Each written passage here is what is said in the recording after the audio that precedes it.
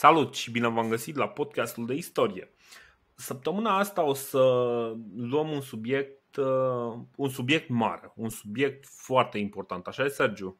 Așa e, maestre, cum zici tu, este cel mai important subiect din câte există pe planeta asta. Nu este chiar cel mai important, dar este unul din cele mai importante, pentru că uh, adevărul este, e un subiect care în general este uitat uh, în momentul în care discutăm despre diversele desfășurări istorice, pentru că suntem mult mai orientați pe lucrurile mari, pe războaie, pe economie. Ne uităm, din păcate, mult prea puțin la societate și dacă vorbim despre societate, cred că un lucru foarte important pe care ar trebui să-l avem în uh, vedere este, evident, și contribuția femeilor în societate, pentru că fără femei nu ar fi nici măcar jumătate de uh, societate, ar fi zero.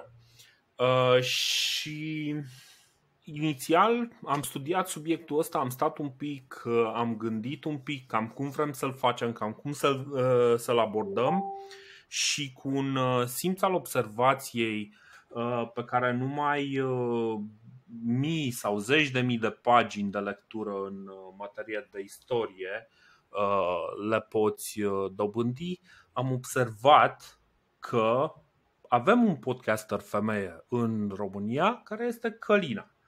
Uh, și da, o avem aici prezentă pe Călina, care vine și ne ajută un pic să înțelegem ceva mai bine sau un pic diferit de cum am prezentat până acum ce înseamnă femeia pentru Republica Romană sau pentru ce am discutat până acum.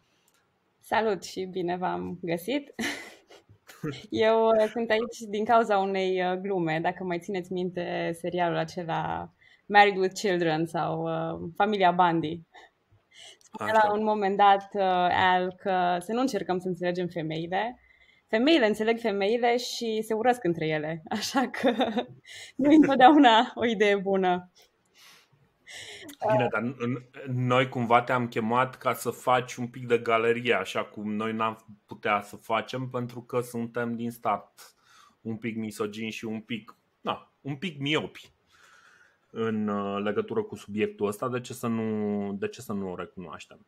Eu mă bucur că e Călina printre noi pentru că în ultima vreme am început să am cam aceleași opinii cu Dorin din păcate, și de-abia aștept să mă contrez cu cineva, așa că mi s-a părut, da, Călina este personajul ideal cu care pot să fac acest lucru. Bun, uh, până la urmă, ok, hai să, să vedem un pic uh, cum abordăm subiectul ăsta, pentru că, într-adevăr, e, e un pic dificil și nu putem să zicem că facem un istoric al femeii. Femeia a fost prezentă tot timpul acolo, uh, și e ca și cum noi acum am vrea să facem încă vreo sută de episoade de podcast, numai ca să punem și, ok, dar ce făceau femeile în timpul ăsta?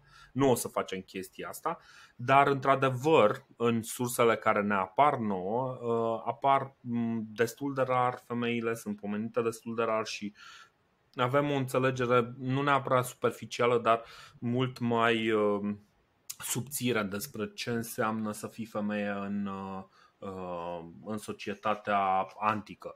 Și uh, problema, problema majoră este că și în momentul în care aflăm despre femei, aflăm despre un anumit, despre o anumită categorie socială.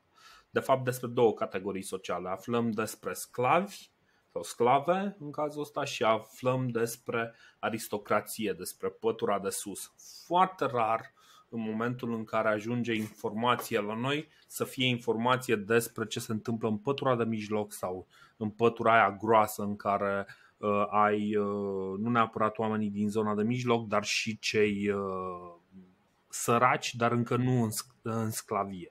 Sclavia e un uh, subiect separat și poate împreună cu Sergio o să încercăm să facem un uh, episod special, așa cum este și acesta, ceva mai târziu, în momentul în care vom reuși să strângem resurse, să, să facem ceva mai, uh, uh, mai complex. Dar deocamdată o să ne uităm la, la lucrurile astea. Și femeia, în primul rând, a fost prezentă încă din mitologia uh, creierii Republicii Romane, pentru că cumva la mitologia, la baza mitologiei existenței sau, mă rog, creșterii, de fapt începutului Republicii Romane, este o femeie și anume Lucreția și poate că Lina ne ajută cu povestea.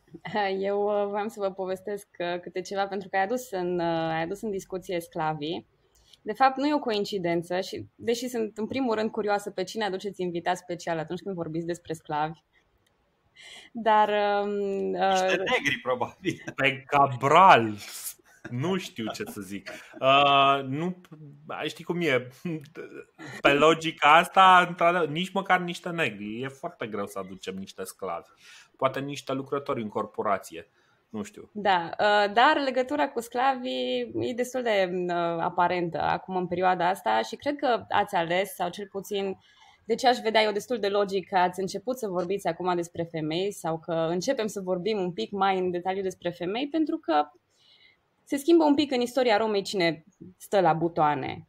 Că înainte, mhm. aveam, înainte de Octavian și înainte de începerea Imperiului, practic în Republică, din cauza faptului că femeile nu aveau putere de vot, nu puteau fi magistrați, nu puteau fi uh, implicate în politică deloc. Uh, din cauza asta, normal că și influența lor era, era limitată.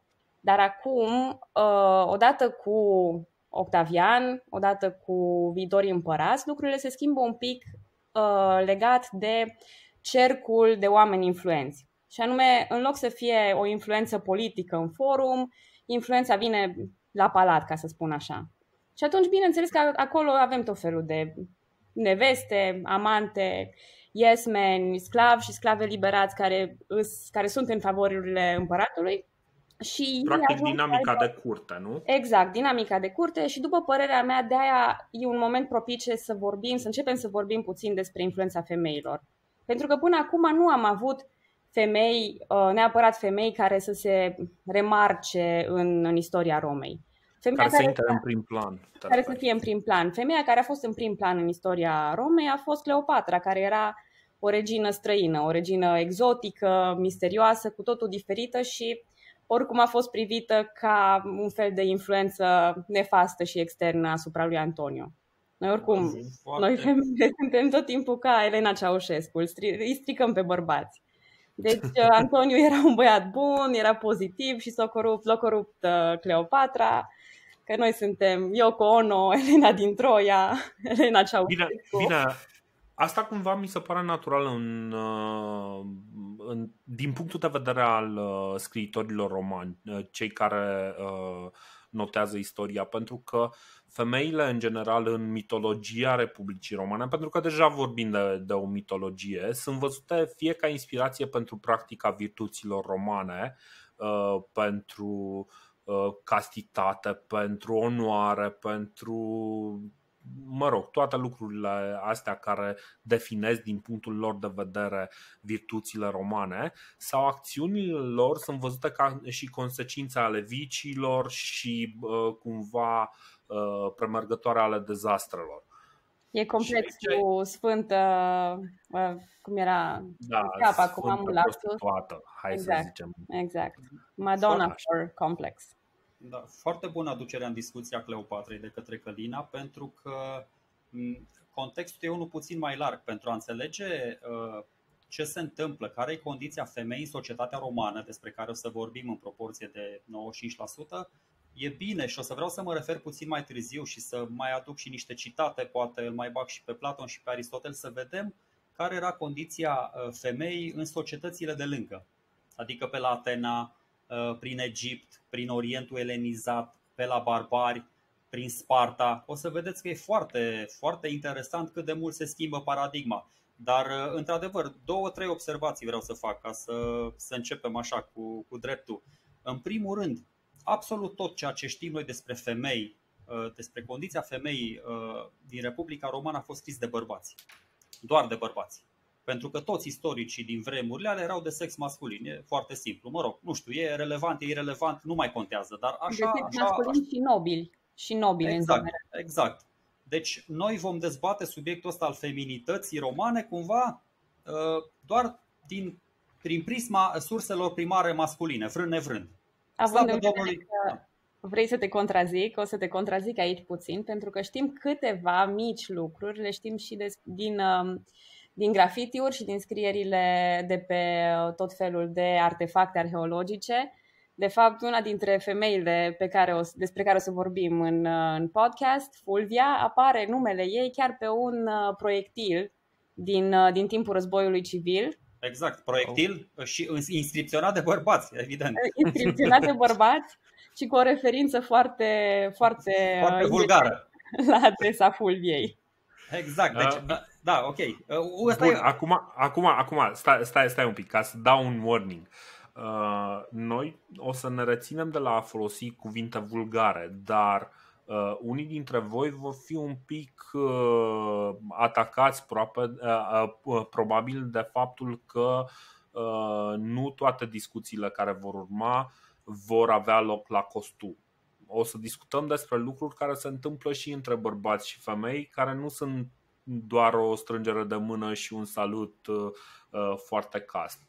Deci, uh, asta este un fel de warning pentru că nu putem să folosim uh, formularea de interacțiune biblică, pentru că Biblia încă nu fusese scrisă, va trebui să găsim un limbaj mai colorat. Asta e ce să Tehnic facă. vorbind, fusese scrisă, dar doar o parte. Deci, deci uh, bun, și, și stai, stai, uh, doar o chestie, mai rămân, uh, mai rămân uh, uh, mărturii ale femeilor prin artă. De exemplu, mai rămân fragmente din poezii uh, de la Safo Uh, mai rămân de la diversi artiști sau prin diversi artiști uh, mărturii despre femeile de lângă ei.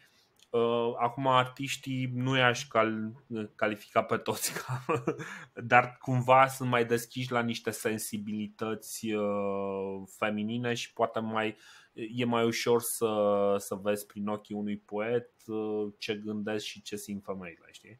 Cam artiștii erau tot bărbați, credem, 99,9%. 99,9%, dar uh, există și excepții și până la urmă cumva ar trebui să ne bazăm un pic și pe sensibilitățile lor în speranța că sunt ceva mai ok. Dar cam atâta. Așa. Deci ăsta e primul, primul aspect. Uh, încă o chestie la care m-am gândit tu aduceai în discuție uh, mitul legendar și fondarea Romei.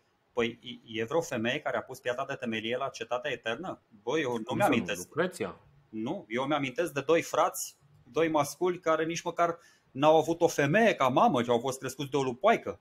Adică, Băi, apropo de gluma asta fumată, da, că ea sunt... Este, adică Romulul și Remulul... cetății, e începutul cetății, eu vorbesc de începutul Republicii. Ok, ok, da, ok, bun, corect, corect, foarte bun așa. Și încă o chestie, tot așa, bă, apropo de mitologie, în mitologie și în panteoanele astea, și la greci și la romani, să știi că apare, adică zeitățile feminine în frunte cu, cu Venus, cu Hera, cu toate astea sunt foarte bine reprezentate. Atena, Atena, orașul Atena, e zeița înțelepciunii, da? Deci calitatea de bază a bărbaților teoretic Adică tu ai un panteon plin de, de zeități feminine uh, și când, uh, când se coboară pe pământ, nu știu, doamnele o să vedem că își pierd foarte mult din virtuți. Încă n-am găsit un răspuns satisfăcător la chestia asta. Mi se pare o dilemă dubioasă că uh, sus sunt foarte bine privite femeile și jos nu mai sunt așa de bine primite. Uh, sus, privite. olimpieni sunt chiar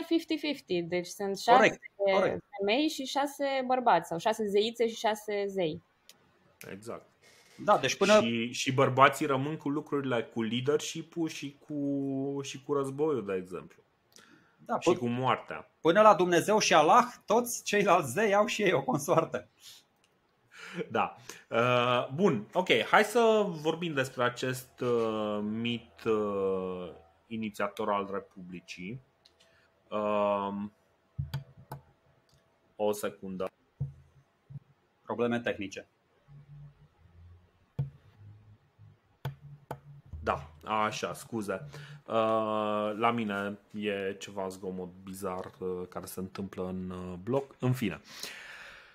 Lucreția este un, un exemplu și pentru că totuși Călina nu vrea să ne spună povestea, o să o spun eu. Lucreția este o, să zicem, cetățeancă roman, romancă, dacă e ok să zicem așa, care se sinucide după ce este violată de un prinț etrusc al Romei.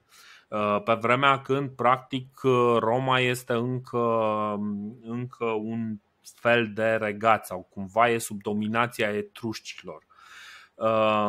Și asta se întâmplă în lipsa tatălui și a soțului ei. Prințul o amenințase că o omoară și lângă, că lângă ea omoară un sclav mascul ca să demonstreze că a surprins-o în adulter.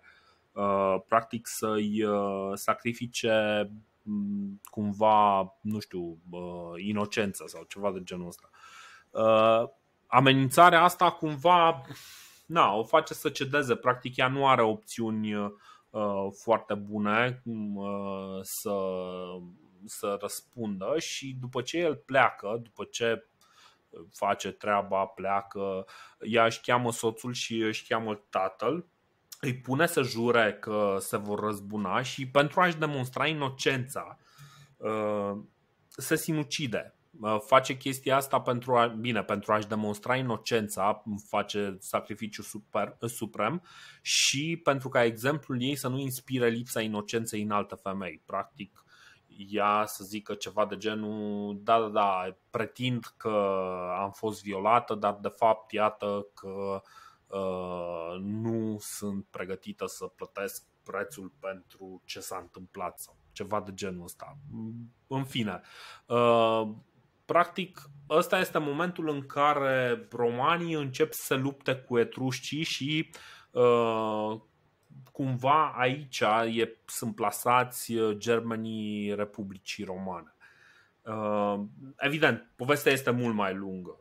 Dar uh, de ce v-am zis povestea asta? Pentru că chiar dacă nu m-am priceput să o povestesc foarte bine, pentru că povestea asta uh, relevă de fapt uh, felul în care este idealizată femeia în societatea romană ca o ființă stoică care stă și își îndeplinește un fel de jurământ de loialitate față de familie, care își slujește familia, trăiește numai pentru familie și în momentul în care este gata să-și dea și viața pentru a păstra intactă onoarea uh, acestei familii.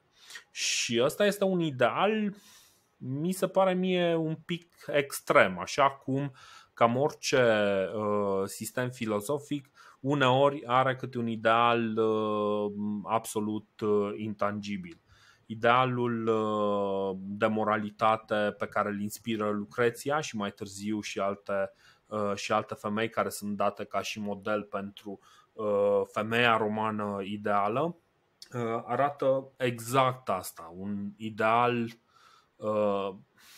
nu știu, un ideal intangibil. fantastic, un ideal intangibil. Este tangibil, pentru că până la urmă exemplele teoretic sunt uh, sunt demonstrează că este tangibil la acel nivel, dar uh, nu este foarte practic, să spunem așa.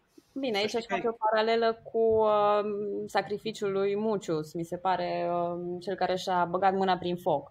Până la urmă, foarte multe dintre aceste idealuri masculine, dar și idealul, fem- și idealul, și idealul feminin și idealul masculin mi se pare că e un pic extrem la romani.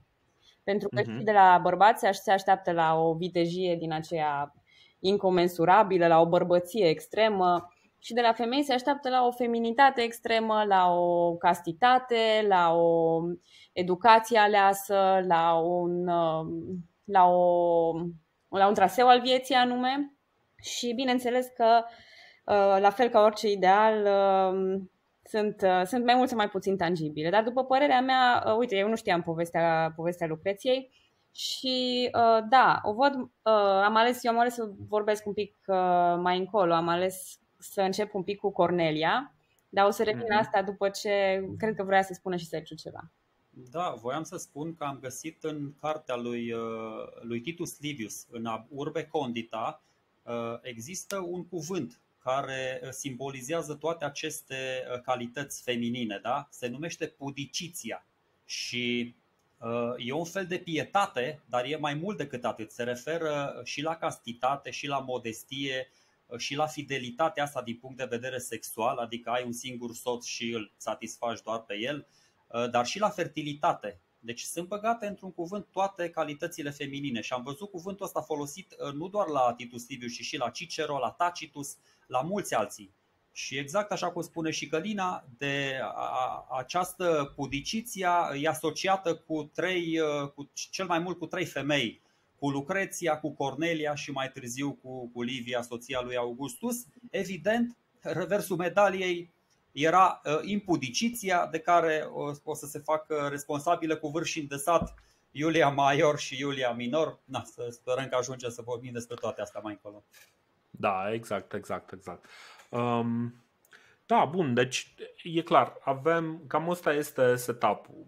Avem bărbatul uh, ideal roman, care trebuie să fie viteaz, uh, uh, tot așa, cumva un ideal stoic, uh, pe care o să-l vedem după aceea replicat uh, sau, mă rog, rafinat și replicat în, uh, în uh, cei mai reușiți împărați romani.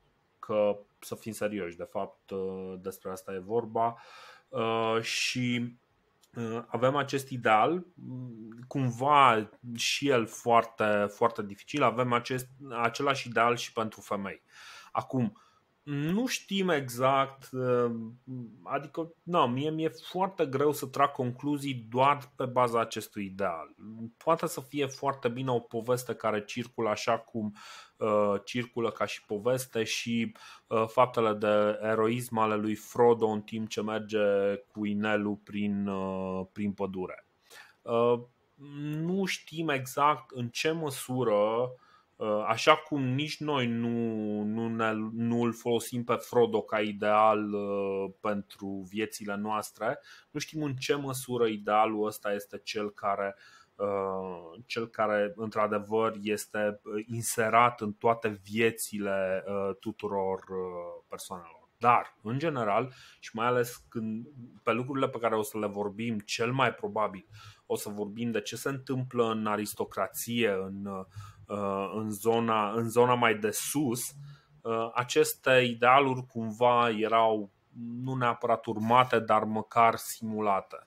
Păi ca să nu mai vorbim atâtea generalisme, hai să o lăsăm pe Călina să ne povestească o, bio, o biografie din asta concretă, să începem cu Cornelia exact. și vedem ce se mai întâmplă. Nu știu dacă am neapărat o biografie întreagă a Corneliei, dar o să vă povestesc una dintre uh, legendele mele preferate, din, încă dinainte să mă ocup de podcasturi de istorie și de tot felul de, de întreprinderi din acestea istorice. Una dintre poveștile mele preferate era aceea cu Cornelia și bijuteriile, pe care o să o redau aici, cum, cum mi-o amintesc și eu. Um, se pare că la un moment dat, într-o discuție între matroanele romane, Cornelia a fost văzută sau uh, cealaltă matroană a remarcat că nu-și poartă bijuteriile și a întrebat-o uh, cu răutatea aceea uh, sugestivă unde sunt, dragă, bijuteriile și de ce nu le porți. Și se pare că atunci Cornelia i-a chemat pe, pe fiii ei, pe Tiberius și pe Gaius, care, ca orice copii cu minți și frumoși, au apărut în fața celor două doamne spălați, curați, frumoși, uh, bine crescuți și Cornelia a indicat și a spus, iată, acestea sunt bijuteriile mele. Uh, asta e o chestie care, mă rog, pe noi mamele ne impresionează foarte tare, pentru că așa, așa gândim și noi cumva. Um, și aici intervine discuția despre, uh, dincolo de, de rolul de a aduce pe lume copii, matroanele romane, femeile romane, mai ales cele de viță nobilă, erau bine văzute dacă erau și bune educatoare ale copiilor lor. Uh, doar, doar o secundă ca să fac o precizare. Uh, Cornelia, despre care vorbim aici, este uh, Cornelia Africana, mama fraților Grahi și nu mai știu ce era. Era Fica, fica lui Scipio Africanu fica lui Scipio Africanu și cred că era mătușa lui Scipio Emilian. Da, da, da. da. Um, deci, uh, da, a, aici, aici vreau să spun pentru că nu e tot timpul foarte clar uh, despre cine despre e ce Cornelia e vorba, da. da. Despre acea Cornelia, Cornelia africană, mama grachilor. Și uh, nu numai atât, Cornelia oricum a fost privită tot timpul ca un model de feminitate romană vorba, vorba lui Dorin, dus la extrem. Deci, um, Cornelia însă și a fost prima femeie căreia i s-a permis reprezentarea, prima femeie muritoare, ca să zic așa, căreia i s-a permis să apară sub forma unei statui, adică apare într-un grup statuar alături de, uh, de băieții ei. O să mai fie ceva vreme până când o să avem prima statuie a unei femei singură, de sine stătătoare. Uh, dar uh, ce se, poate, ce se poate vorbi despre Cornelia este că e într-adevăr un fel de prototip, cum a spus și voi, între, între acele idealuri feminine de modestie și de pudiciția. Da. Apropo de educație, apropo de educație, uh, ok, uh, la Cornelia se vor întoarce și Cicero și Titus Liviu și Cato cel tânăr atunci când uh, vor dori să, să scoată în evidență aceste virtuți ale, ale femeii romane. Uh, și tot așa că eu sunt cu citatele din Cicero într-o scrisoare către prietenul său Atticus, îi spune uh, cât de important a fost educația pe care le-a oferit-o Cornelia celor doi fii ai săi, Tiberius și Gaius, despre care noi am vorbit exhaustiv, pentru cariera lor politică și pentru discursurile lor elocvente, exact așa spune Cicero în scrisorică. Deci, vedeți, foarte, foarte bună și uh, povestioara Călinei, nu, e, nu contează doar să faci parte dintr-o... Bine, asta era o condiție sine qua non la femeile romane. Degeaba puteai să te dai de trei ori peste cap. Dacă nu făceai parte dintr-o familie uh, influentă și dacă... Deci ăsta era primul, uh, primul punct pe care trebuia să îl bifezi. Și încă o, încă o chestie importantă, trebuia să te și căsătorești cu cine trebuie. Pentru că na, astea două îți permiteau uh, să ai personalitate, să fii educată, să fii influentă, să ai pedigree și să impui respect. Pentru că altfel puteai să ai personalitatea și onorabilitatea de pe așa, cea mai cea, că nu te băga lumea în seamă, dacă nu făceai parte din familiile alea nobiliare na, care să fie în vârful piramidei. Da, și oricum, bine, întrebarea pe care vreau să o, să o adresez eu cumva ar fi cum ajungem noi de la două, trei femei din acestea presărate prin, uh, prin istoria romană la multele femei care o să ajungă să influențeze istoria Romei de acum încolo. Pentru că na, știu că vă, nu vă place să anticipați, dar urmează surorile lui Caligula, Valeria Mesalina, Agripinele, mai încolo Pompea Plotina, Vibia Sabina. Deci sunt niște femei care vor influența foarte mult uh, istoria Romei. Și, uite, ca să nu mai vorbim, uh, este o perioadă care pe noi, să zic ca neam, ne privește destul de mult. Uh, dinastia Severilor, la un moment dat, a fost condusă mai degrabă de femei. Uh, au fost Iulia, Domna, Maesa și Mamaia. Mamaia care era fix bunica lui Sever Alexandru. și în, um, în, în Dacia um, apar tot felul de inscripții în onoarea împăratului și a mamei, împăratului și a, uh, și a mamei sale, de exemplu, în cazul lui Caracala, este un altar întreg închinat Iuliei Domna. Și um, severii și severițele, dacă pot să spun așa, s-au ocupat foarte mult de, de zona Daciei. Sau pe 21 mai avem Sfinții Împărați Constantin și mama sa Elena. Și atunci, bun, cum ajungem noi, practic, să avem atâtea femei influente în istoria romană de la câte au fost până acum? Lucreția, Cornelia, care Lucreția e cumva în zona mitului, Cornelia e aproape în zona mitului și o avem pe Cleopatra extern și cam atât. Și de un, cum se ajunge la, la lucrul ăsta? Și cam, des, cam despre asta aș vrea să vorbesc, uh, să vorbesc eu. Uh-huh. Și înainte să vorbesc despre uh, soția lui Augustus, despre Livia, cred că trebuie să vorbim despre soacra lui, și anume Fulvia, una dintre soacrele lui, de fapt. Fulvia fiind prima femeie romană reală, deci nu era o zeiță sau o ființă mitologică, uh, care a apărut pe monede și care a ridicat o armată. Și o să vedeți că are un palmares destul de impresionant. A fost căsătorit de trei ori cu uh, unii dintre cei mai importanți bărbați din perioada de cădere a Republicii. Și mai întâi a fost soția lui Claudius, pe care îl țineți minte din, uh, din, uh, din istorie ca agitatorul preferat al lui, uh, al lui Cezar, care, cel care organiza colegiile Uh, să mă opriți dacă nu vă, dacă nu vă amintiți de personajele astea. Nu, nu, da, da, amintim, da, amintim foarte bine. Da. Cred că vă amintiți foarte bine pentru că au, uh, au fost memorabile. Și Fulvia a avut cu el doi copii, uh, un tiz al tatălui și pe Claudia Pulcra. Claudia Pulcra au devenit și prima soție a lui Augustus. Acum, transferul puterii lui Claudius când, deci când a murit, uh, când a murit uh, Claudius, um, putem vorbi despre un transfer al puterii lui spre Fulvia. Pentru că în sistemul clientelar, care funcționa la vremea aia în Roma, practic clienții care erau uh, clienții lui Claudius au ajuns cumva să fie legați de Fulvia în sine. Când a murit Claudius, mhm. ea putea și alegerea pe care a făcut-o a fost să se recăsătorească ca să transfere practic clienții lui și s-a căsătorit atunci cu Gaius Scribonius Curio, posibil și de el să vă amintiți, um, care înainte să se căsătorească era optimat și cu ocazia căsătoriei a devenit popularis. Uh-huh. Bineînțeles, asta i-a adus o grămadă de avantaje. O devenit și tribun după căsătoria cu Fulvia și era printre persoanele în care Cezar avea cea mai mare încredere, Iulius Cezar, ca să fiu mai, mai precisă. Și da. al doilea da. soț, practic ce, ce vrei să spui este că de fapt clienții au urmat-o pe Fulvia. Pe Fulvia. Exact, exact. Am înțeles. Ok. Noi ne uh, aducem aminte da, noi ne aducem aminte mai mult părțile războinice, adică tu când ne povestești de Claudius, noi ne aducem aminte cum s-a bătut cu Milo și a luat bătaie și ăla a fost exilat și după aia s-au dus, s-au dat foc la forum, toată chestia asta. Aici să știi că Fulvia, uite, aici e de admirat, pentru că se duce în proces Fulvia se duce și depune mărturie împotriva lui Milo. Aici, uite, nota 10. Și Milo, în urma, mă rog, denunțului Fulviei, uh, pe drept, uh, pe merit, este exilat. Este exilat parcă la Masilia și spre deosebire de Ovidiu, ăsta nu se plânge că bă, e briza mării rece, e iarbă pe câmpii, nu știu, ăla zice bă, e frumos, îmi place clima, îmi place peștele, totul e bine frumos. Nu și există curi... lacrima lui Milo.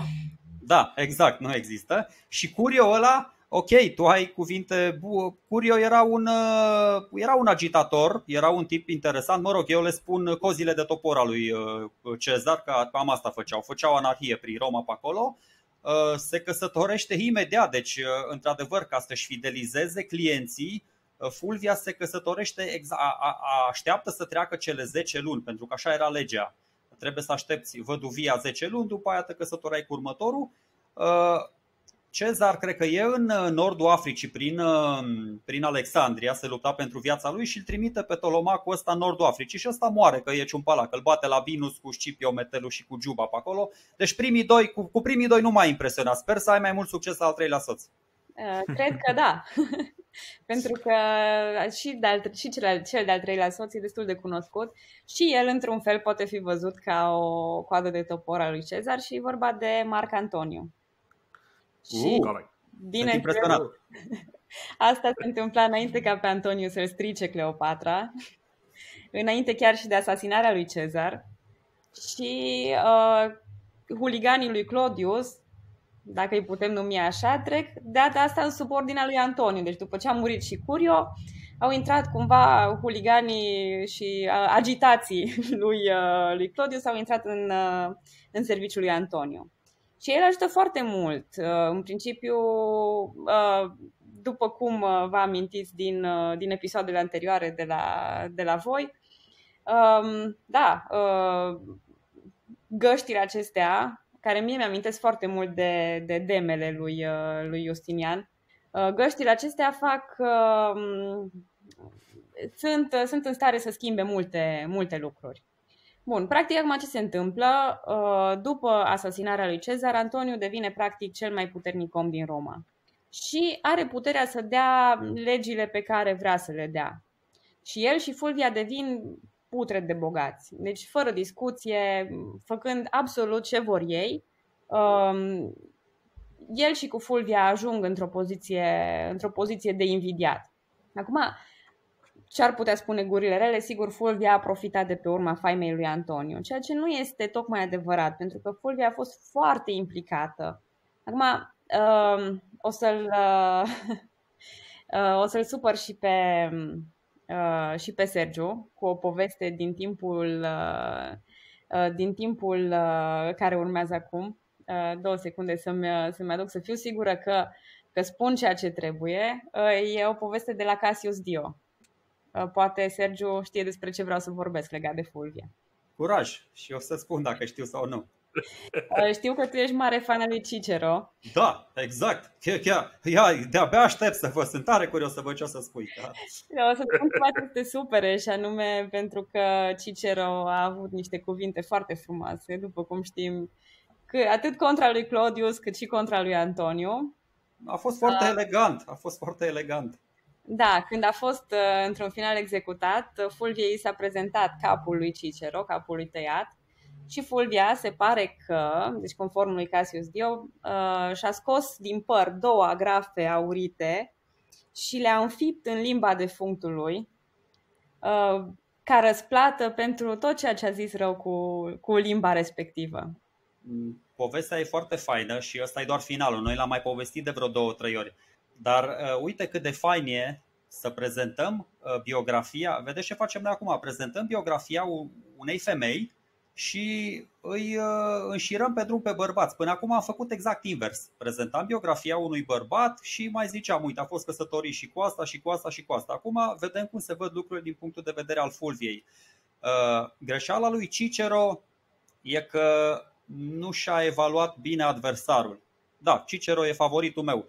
El s-a legat în uh, filipicele lui și de Fulvia și de Marcus Antonius, trimitea segetuțe către cei doi, bine, cei doi ci că ar fi avut o, o relație de pe vremea lui Claudius, când ăsta fugea din tabără ca să o înșele pe asta, mă rog, îi, să-i aline poftele nocturne, nu intrăm în, în detaliu, dar uh, ce, uh, când devine, și aici din nou m-aș concentra, m-aș reconcentra pe Fulvia, uh, în anul 45, în anul 44, Fulvia începe să devină super influentă, super implicată în toate jocurile astea de culise. Pentru că după moartea lui Cezar, cum ai zis și tu, Antoniu devine cam cel mai puternic om din lume și din lume, din Roma. Și atunci Cicero uh, încearcă să se placeze de partea cealaltă, îl, îl ia sub aripa lui pe Octavian, ceea ce îi va atrage ura asta nestăvilită a Fulviei și a lui uh, Marcus Antonius. Urmează proscripțiile, Cicero cade prada acestor uh, proscripții și la final, după ce face ceea ce face, cu capul atârnat în rostra, cu mâna lui dreaptă cu care a scris filipicele, cu uh, limba aia, uh, mă rog, da, înfiptă două ace, două agrafe în limbă, se opresc proscripțiile, semn că Antonio și Fulvia au, uh, au rezolvat treaba. Dar ce să zic, felicitări ei și a atins scopul, a devenit cea mai puternică femeie din, din Roma și ca răspuns la ce ai spus tu, Uh, nu e nicio diferență între perioada asta, adică femeile erau la fel de influente și acum cum vor fi și mai târziu. Doar că noi nu știm, nu știam chestia asta, nu avem izvoare care să ni le spună, pentru că izvoarele sunt scrise de bărbați. Când bărbații se vor decide să scrie mai mult despre femei, atunci și femeile vor deveni mai influente. Când bărbații se decid să tacă, atunci și femeile sunt uh, reduse la tăcere. Da. Bun. Uh, deci ăsta ar fi momentul de glorie maximă al Fulviei, din punctul meu de vedere. Cred că toată lumea ar fi de acord că e... e nu, nu e. Nu e. Nu e? Nu. Care Mai ar... trebuie să treacă 2 ani. După bătăria de la Filipie, punctul maxim. Mă rog, eu aș zice că în momentul în care Antonio a plecat spre Egipt, unde a fost uh, absolut cu minte și cast și n-a cunoscut nicio regină exotică să aibă copii cu ea și nu i s-a uh, luat deloc uh, nu i s-au luat deloc ochii de la Fulvia, aș zice că, aș zice că aici ar fi momentul. Păi da, atunci, după bătălia de la Filipii, uh, Fulvia era soția celui mai puternic om din triumvirat.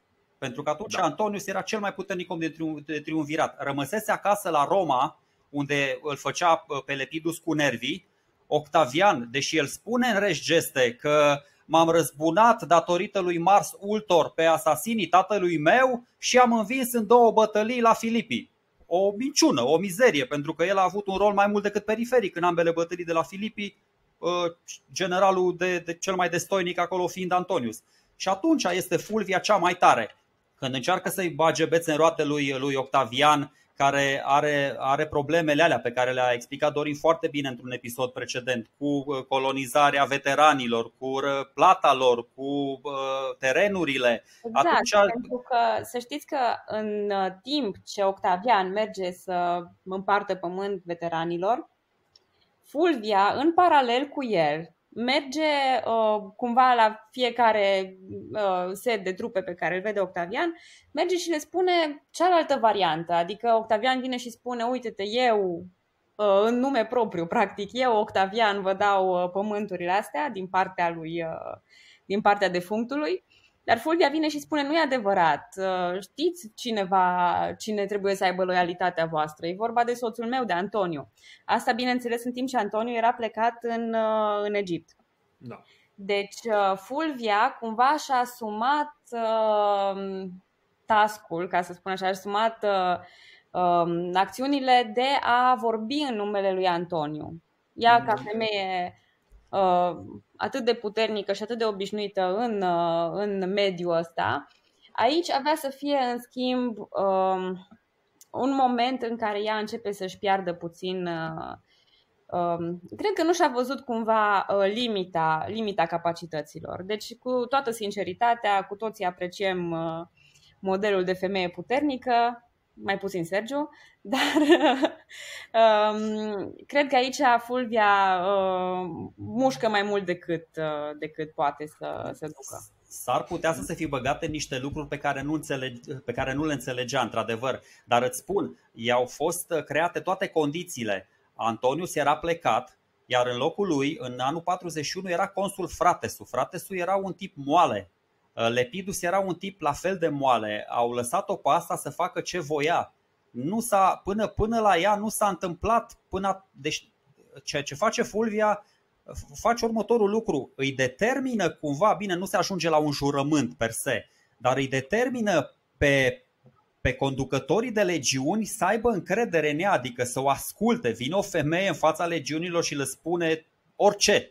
Deci până, până la Fulvia nici nu ți-ar fi, ți-ai fi imaginat că se poate întâmpla chestia asta în Republica Romană, o republică unde bărbatul militar, luptător, legionar nu asculta decât de conducătorul lui direct sau de împărat sau de uh, consul, de pretor, nu, nu de femeie. Nu știu, nu știu ce să zic, dar uite, uh, Cassius Dio zice despre perioada asta în care voi spuneți că uh, îi, îi se cam știrbește din putere sau ratează obiective Fulvia, Cassius Dio zice următorul lucru, zice în uh, anul următor Publius Servilius și Lu- uh, Lucius Antonius au devenit uh, nominal consuli, dar în uh, realitate era Antonius și Fulvia. Corect. Ea, care era și uh, soacra, da, era, era soacra lui Octavian și, uh, și soția lui Antoniu uh, nu avea niciun pic de respect pentru Lepidus pentru că, uh, bine, din cauza, din cauza Lenilui și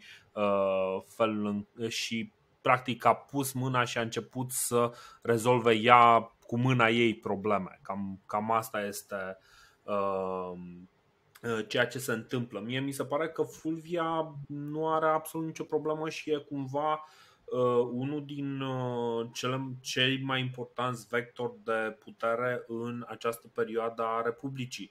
Uh, vocea ei este însă uh, temperată de un Octavian care este câștigător.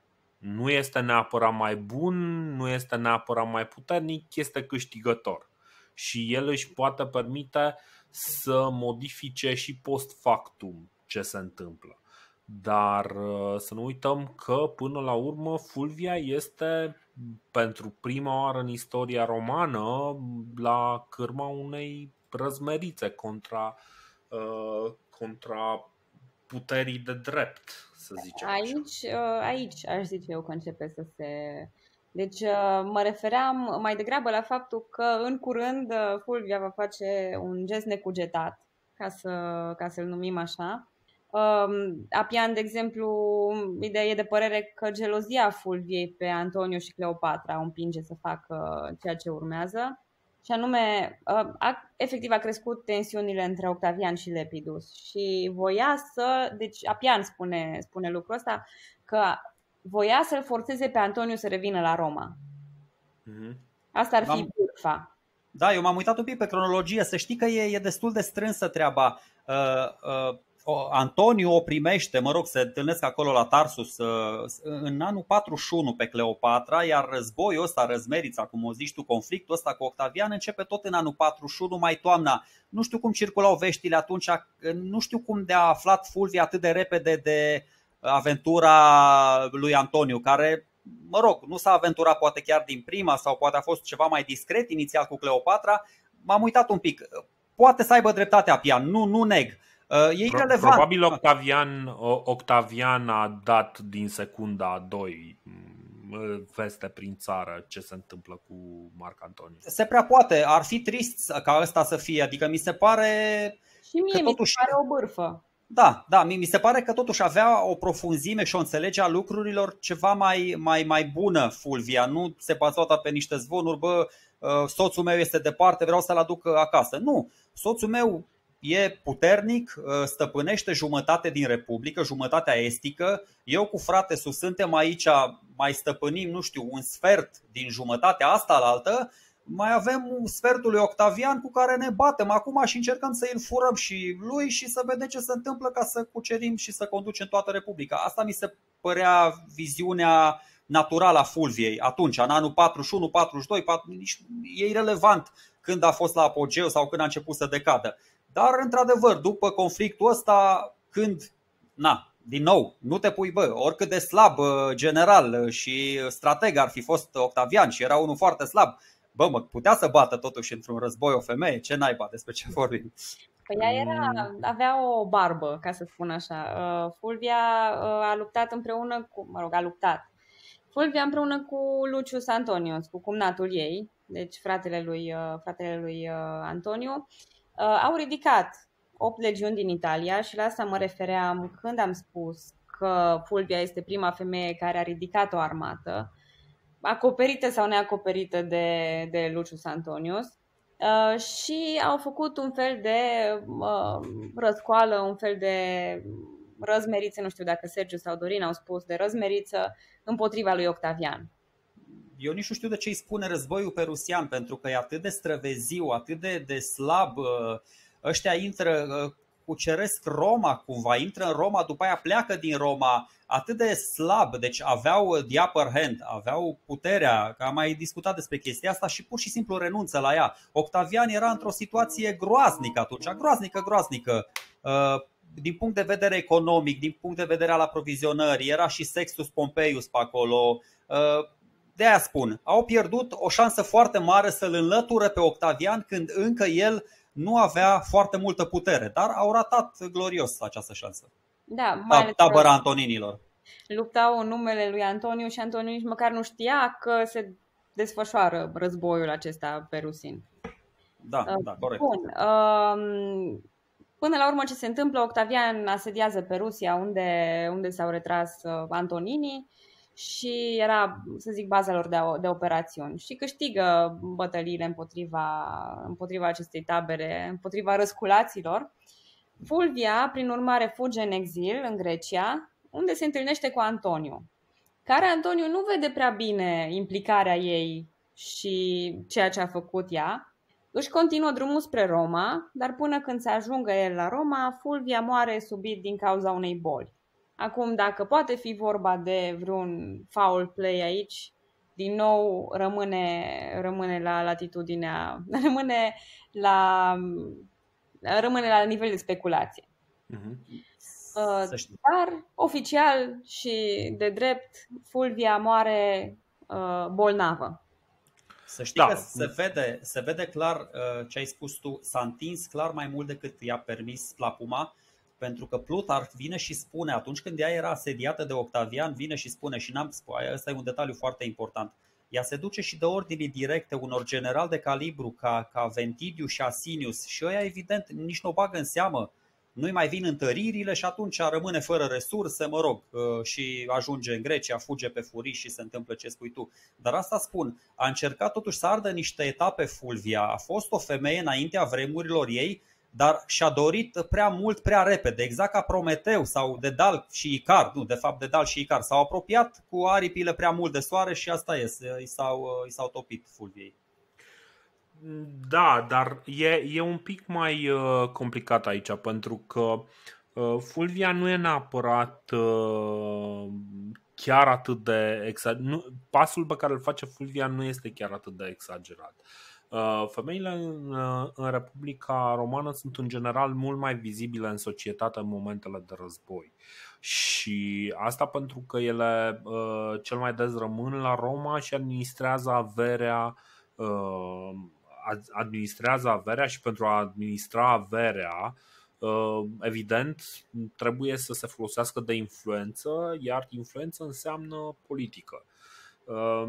Nu cred că înțelegem noi foarte bine care sunt relațiile de lucru acolo. Da, este posibil ca uh, generalii ei să nu fie ascultat pentru că era femeie și pentru că uh, au zis, bă, știi ce, asta spune că reprezintă voința lui Marc Antoniu, dar uite că nu reprezintă voința lui Marcus Antonius, așa că noi o să ne facem ce vrem, o să facem noi cum vrem și uh, lasă-o încolo. Nu, știu, nu știm exact dacă lucrurile s-au întâmplat chiar așa, uh, dar este clar că uh, răzmerița ei nu este foarte bine organizată, este uh, se autoexilează la Atena și este îmbolnăvită câteva luni mai târziu.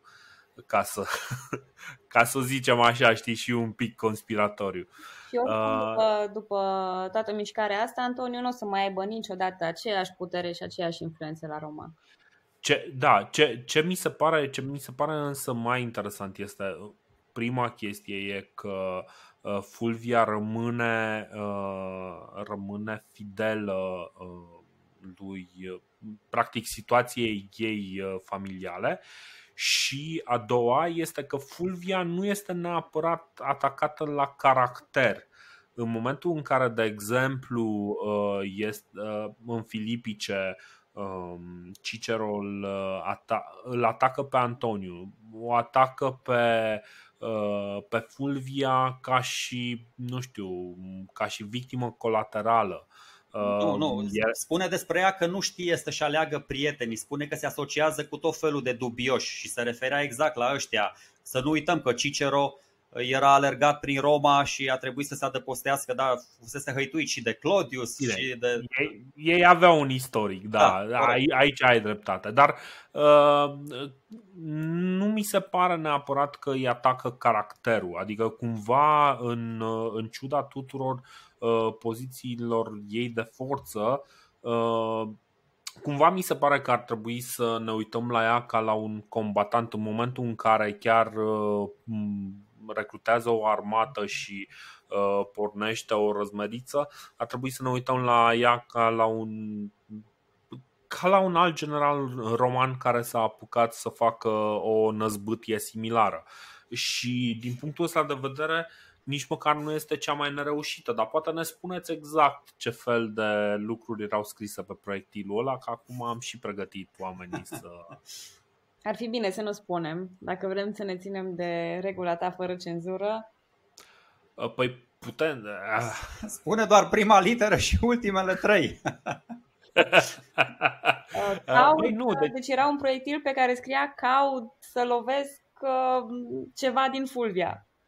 Da, înțeles. Uh, și nu era vorba de ceva era, era ca gluma aia din Seinfeld, rimează cu o parte feminină, ca să zic așa.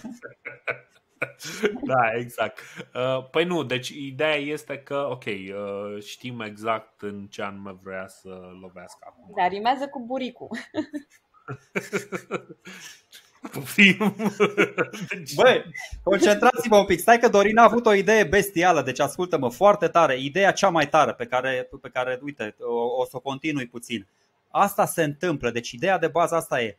Când bărbații sunt plecați la război în afara Italiei și chestia asta începe, da, când, când se duc ei după al doilea război punic, da, am vorbit în nordul Africii, în Grecia, în Galia, în Spania, asta, acum începem noi să vorbim despre femeile astea puternice. Acum, deci când bărbații pleacă și femeile rămân în Roma, femeile ajung din ce în ce mai influente. Da? Ok, în continuare nu pot să voteze, în continuare nu pot să ocupe funcții publice, dar negocierile de care zicea Călina la început, astea duse în spatele uh, ușilor închise, deveneau din ce în ce mai dese, uh, aveau mai multă greutate și, cel mai important, erau uh, din ce în ce mai luate în serios de ceilalți oameni importanți, care erau, mm-hmm. na, de ceilalți senatori.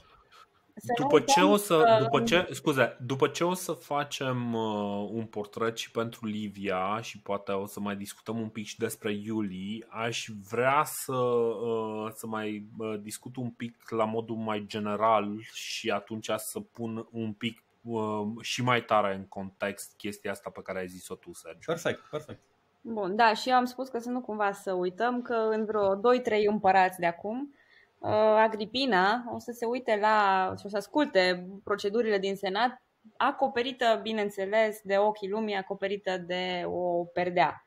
Dar va da. fi acolo și va fi foarte implicată în, uh, în ceea ce se întâmplă politic. Da. Uh, oricum, până acum rămâne așa cum zicea Cato cel bătrân. Uh, femeia e uh, niciodată nu Uh, nu are aceleași drepturi legale cu bărbații, uh, pentru că, și aici o să-l citesc pe Cato cel bătrân, dacă le permit să obțină egalitatea cu bărbații, credeți că vă, vă va fi mai ușor să trăiți, uh, trăiți cu ele? Deloc. Odată câștigată egalitatea, vă vor deveni stăpâni. Asta este ceea ce zice Cato, care el de felul lui nu este neapărat un misogin, da, dar poate că, poate că are, uh, are un punct de vedere realist. Uh, în momentul în care îl zice el, sună un pic panicard. Dar mie mi se pare cât, de, cât se poate de realist mai ales având în vedere felul în care uh, puterea, uh, puterea militară este întotdeauna uh, subordonată puterii politice. Și având în vedere că femeile rămâneau totuși la Roma și conduceau Roma Uh, din, din punctul ăsta de vedere. Uh, și vorbind de femei care conduceau Roma, bănuiesc că acum vorbim și despre Livia. Bă, vreau, vreau totuși o concluzie. Scuze, așa. scuze, Călina. O concluzie totuși, așa, și are legătură cu femeile, că stau și mă gândesc acum. Ce se întâmplă până la urmă? Uh, Toni și Tavi, Octavian și cu Antoniu până la urmă se împacă Exact. Și tot Plutarh spune, uh, de, ei dau vina până la urmă pe Fulvia. Fulvia murind, ei zic, bă, pe cine altcineva să găsim noi de vină că ne-am certat așa ca bărbații. Și după aia iar se împacă datorită altei femei, dacă o să vedem, uh, Antoniu se căsătorește parcă cu Octavia Minor, cu sora lui Octavian, o tipă din nou, am mai zis, de nota 10, care chiar îl va iubi pe Tolomacul de Antoniu, doar că ăsta era deja cuprins în mrejele altei femei, vedeți? Cleopatra. Da? Și, din nou, e foarte fain să prezentăm lucrurile și din punctul de vedere, de vedere feminin și să amintim pe bărbați așa doar întreagă. Și aici uh, este momentul în care, mă rog, Fulvia căzând în disgrație și Octavian divorțează de fica ei, de Claudia. Corect. corect. Se căsătorește cu a doua lui soție, cu Scribonia. Astea sunt lucruri pe care voi le-ați povestit. Nu, Asta nici, nici n-am insistat pe ea. Noi, noi cred că nici n-am menționat faptul că Octavian a fost căsătorit cu fica Fulviei, dacă îți vine să crezi. Sau, ba, a, cred că am da, zis? Cred ah, da. ok, ok, da. atunci am mea culpa. Bun, că am vorbit mult despre Octavian. Ah, ok. A fost căsătorit cu Claudia, fica Fulviei și a doua lui soție a fost Scribonia, care era, mi se pare, era rudă cu Sextus Pompei mai de departe ceva. O de fel departe, de... dar am înțeles că a fost un fel de gest de bunăvoință pentru a arăta cât de bine se înțelege Octavian cu Sextus Pompei. Asta am înțeles eu din încrengătura de, um, de motivații posibile. Um, bun, și problema este că Octavian cum e mult spus, noi din modernitate suntem obișnuiți cu ideea de căsătorie romantică, în care soții se iubesc unul pe celălalt. Se pare că Scribonia nu era tocmai pe placul lui Octavian. Nu pot să zic că, că nu o iubea, că probabil nici pe altele nu le-a iubit, dar uh, pe Scribonia nici nu a agreat-o prea mult. Și anume, într-o chestie de telenovelă totală, um, în momentul în care uh, Scribonia îi naște, o naște pe Iulia, singurul copil natural al lui Octavian, de altfel, În, chiar în acea zi, Octavian o părăsește pe Scribonia, divorțează de ea și se căsătorește cu a treia lui soție. Bun. Care-i telenovela aici? Cu a treia soție. Ea exact, fusese, spune-ne din punctul ei de vedere. Ea fusese căsătorită cu un patrician pe nume Tiberius Claudius Nero. Asta pentru cine știe împărații care au urmat, cu recunoaște toate aceste nume, și Tiberius, și Claudius, și Nero. Deci e clar că lucrurile merg înspre, în direcția, în făgașul potrivit al istoriei. Mm-hmm. Și mhm. femeia aceasta avea un fiu, Tiberius, din prima căsătorie și era însărcinată în șase luni cu al doilea copil, care va deveni Drusus. Acum, practic Octavian, de ce face, ca să repet telenovela, Octavian divorțează de soția lui în ziua în care îi naște singurului copil natural și se căsătorește cu o femeie gravidă în șase luni. Care avea și un copil. Care avea și un copil dinainte. Deci ar putea spune că i s-au aprins un pic călcâiele, dacă ar fi să luăm o expresie populară. Că era vorba de o pasiune mistuitoare sau de altceva, nu știu. Ea, apropo, nu numai că era uh, însărcinată și avea un copil, era și căsătorită și a fost forțată să divorțeze și luată de nevastă de către, de către Octavian. Și uh, așa devine Livia Drusila, prima doamna a Romei. Păi uh, stai să mă gândesc, deci asta se întâmpla în anul 39, cred că, nu? Stai să fac niște calcule. Uh, e normal să li se aprindă călcâiele. Păi tip avea 20 de ani și Octavian avea 23, 24. Erau tineri, erau frumoși, erau ce să... Da, după standardele alea chiar era un pic ofilită Livia, așa, la 20 de ani era un pic fumată, ca să, ca să zic. Și au fost căsătoriți 51 de ani. Totuși au fost căsătoriți 51 de ani, până la moartea lui Octavian. Deși Livia nu i-a dăruit niciun copil natural lucru care, mă rog, poate în, uh, în, în contextul ăsta și mai mult ca sigur în contextul ăsta, având în vedere că Octavian își căuta, căuta în continuu un posibil, uh, un posibil succesor, uh, ar fi fost natural, nu știu, probabil să divorțeze de ea să-și ia o, o soție compatibilă. Uite, să știi că nu m-am gândit la chestia asta. Deci tu pui uh, starea de fapt uh, pe seama faptului că uh, Octavian era îndrăgostit, pur și simplu era îndrăgostit de, de Livia. Nu știu și de aia nici n-a... Cel mai probabil, da. Nu știu mhm. neapărat Are logică, de aia zic. Câtă îndrăgosteală a fost, câtă înțelegere, câtă compatibilitate, dar e clar că în momentul în care ei uh, de soție o femeie în condiția Liviei și te înțelegi cu ea și în ciuda adversităților care vin odată cu postul tău de împărat, princeps, pardon. Uh, în ciuda adversităților acestora rămâi cu ea 51 de ani. Mie mi se pare că acolo a fost, uh, a fost dacă nu, da, au fost, dacă nu sentimente, a fost cel puțin o înțelegere foarte bună. Mhm. Păi stai să văd lucrurile din punctul de vedere al lui Dorin, adică din punct de vedere feminin. Mie mi se pare că Livia l-a prins pe Dumnezeu de picior.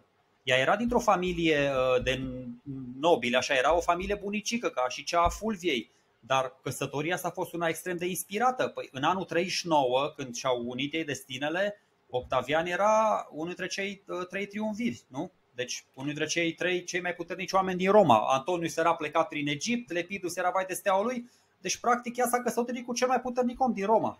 Dar uite, asta numesc eu o căsătorie din interes, din partea ei.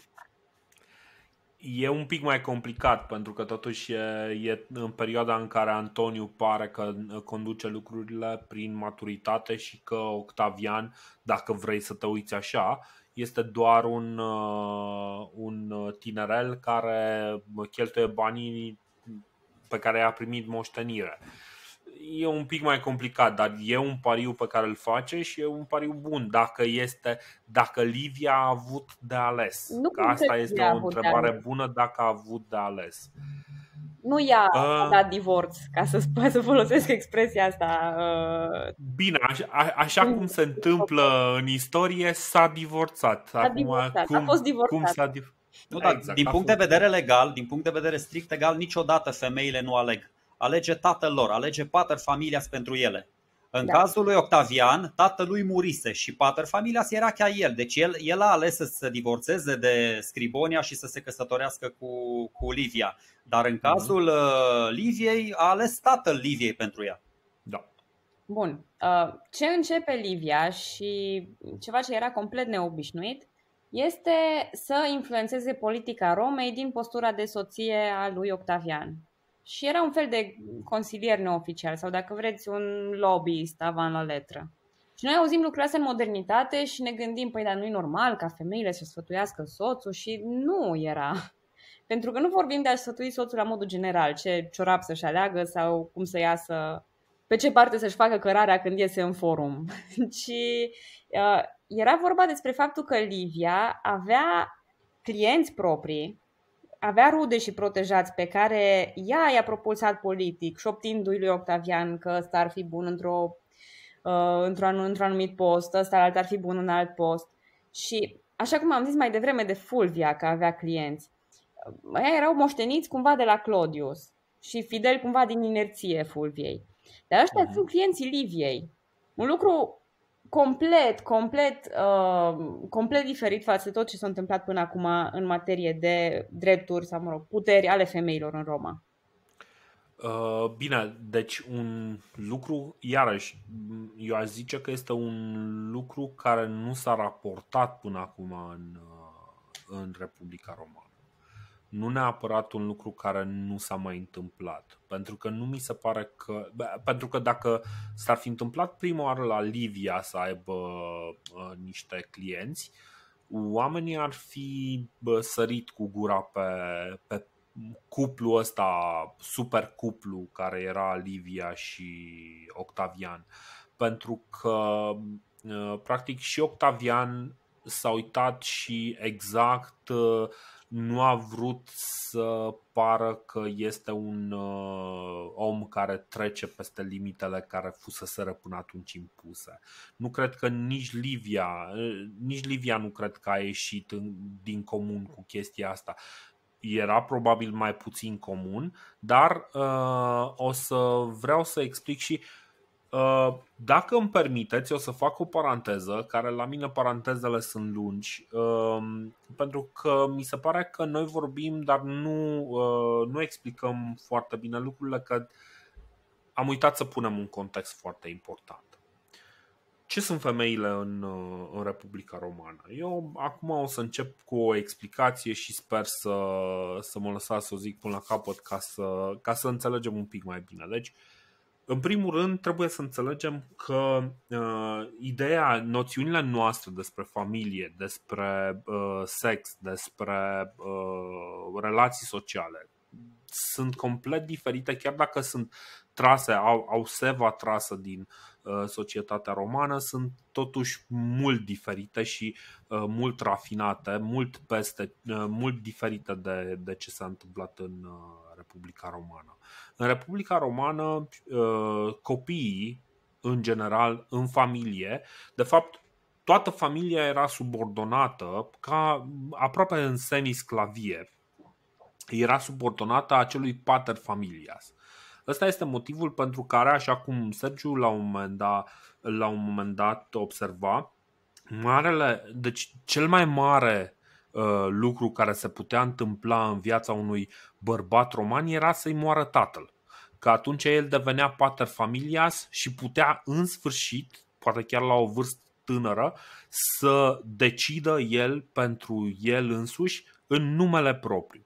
Uh, o situație similară, deci trebuie să înțelegem că până, până la uh, momentul în care devenea pater familias, copilul era subordonat din toate punctele de vedere uh, părintelui lui. De asta auzim foarte puțin despre uh, copiii uh, diversilor uh, oameni mari romani înainte ca părinților să moară. Și uh, la fel se întâmplă și cu femeile. Femeile cumva par sau da, se dă impresia Uh, că uh, sunt un fel de proprietate. Nu e cu nimic diferit situația, uh, diferită situația de cea băieților. Singura problemă este că femeia nu putea să devină un pater familias decât într-o situație excepțională despre care o să vorbesc un pic mai departe. Evident, esența uh, familiei este până la urmă uh, definită și de contractul dintre femeie și bărbat care uh, teoretic conduc familia. cu alte cuvinte, despre căsătorie. Și uh, căsătoriile, așa cum spuneai și tu, uh, Călina, nu sunt făcute din dragoste, sunt făcute mai ales în zona asta aristocratică pe uh, considerente pragmatice de, care țin de relații. Dorin, dar vreau Fata... Să, aș vrea să se înțeleagă ceva foarte bine și anume um, tocmai faptul că fata rămânea subordonată tatălui și nu soțului, pentru că asta s-a, asta s-a întâmplat în Republica, înainte de Republică sau în Republica timpurie, s-a întâmplat ca femeia să fie dată direct uh, soțului, deci soțul să aibă uh, autoritatea asupra ei. Dar nu se uh-huh. întâmplă asta. Deci în, în sistemul roman, femeia rămâne în subordinea tatălui, dar în casa soțului. Și lucrul e, compli- e complicat, e complicat. Nu e chiar sunt așa. Două, nu e chiar așa. Sunt două tipuri de căsătorie. Sunt două tipuri de căsătorie de unde o să învățăm că uh, de ce uh, se cere mâna femeilor. Sunt două tipuri de căsătorie și prima de tip, primul tip este sine manu, în care fata rămâne sub tutelajul tatălui și uh, genul ăsta de căsătorie apare mult mai des pe la finalul Republicii și în Imperiu.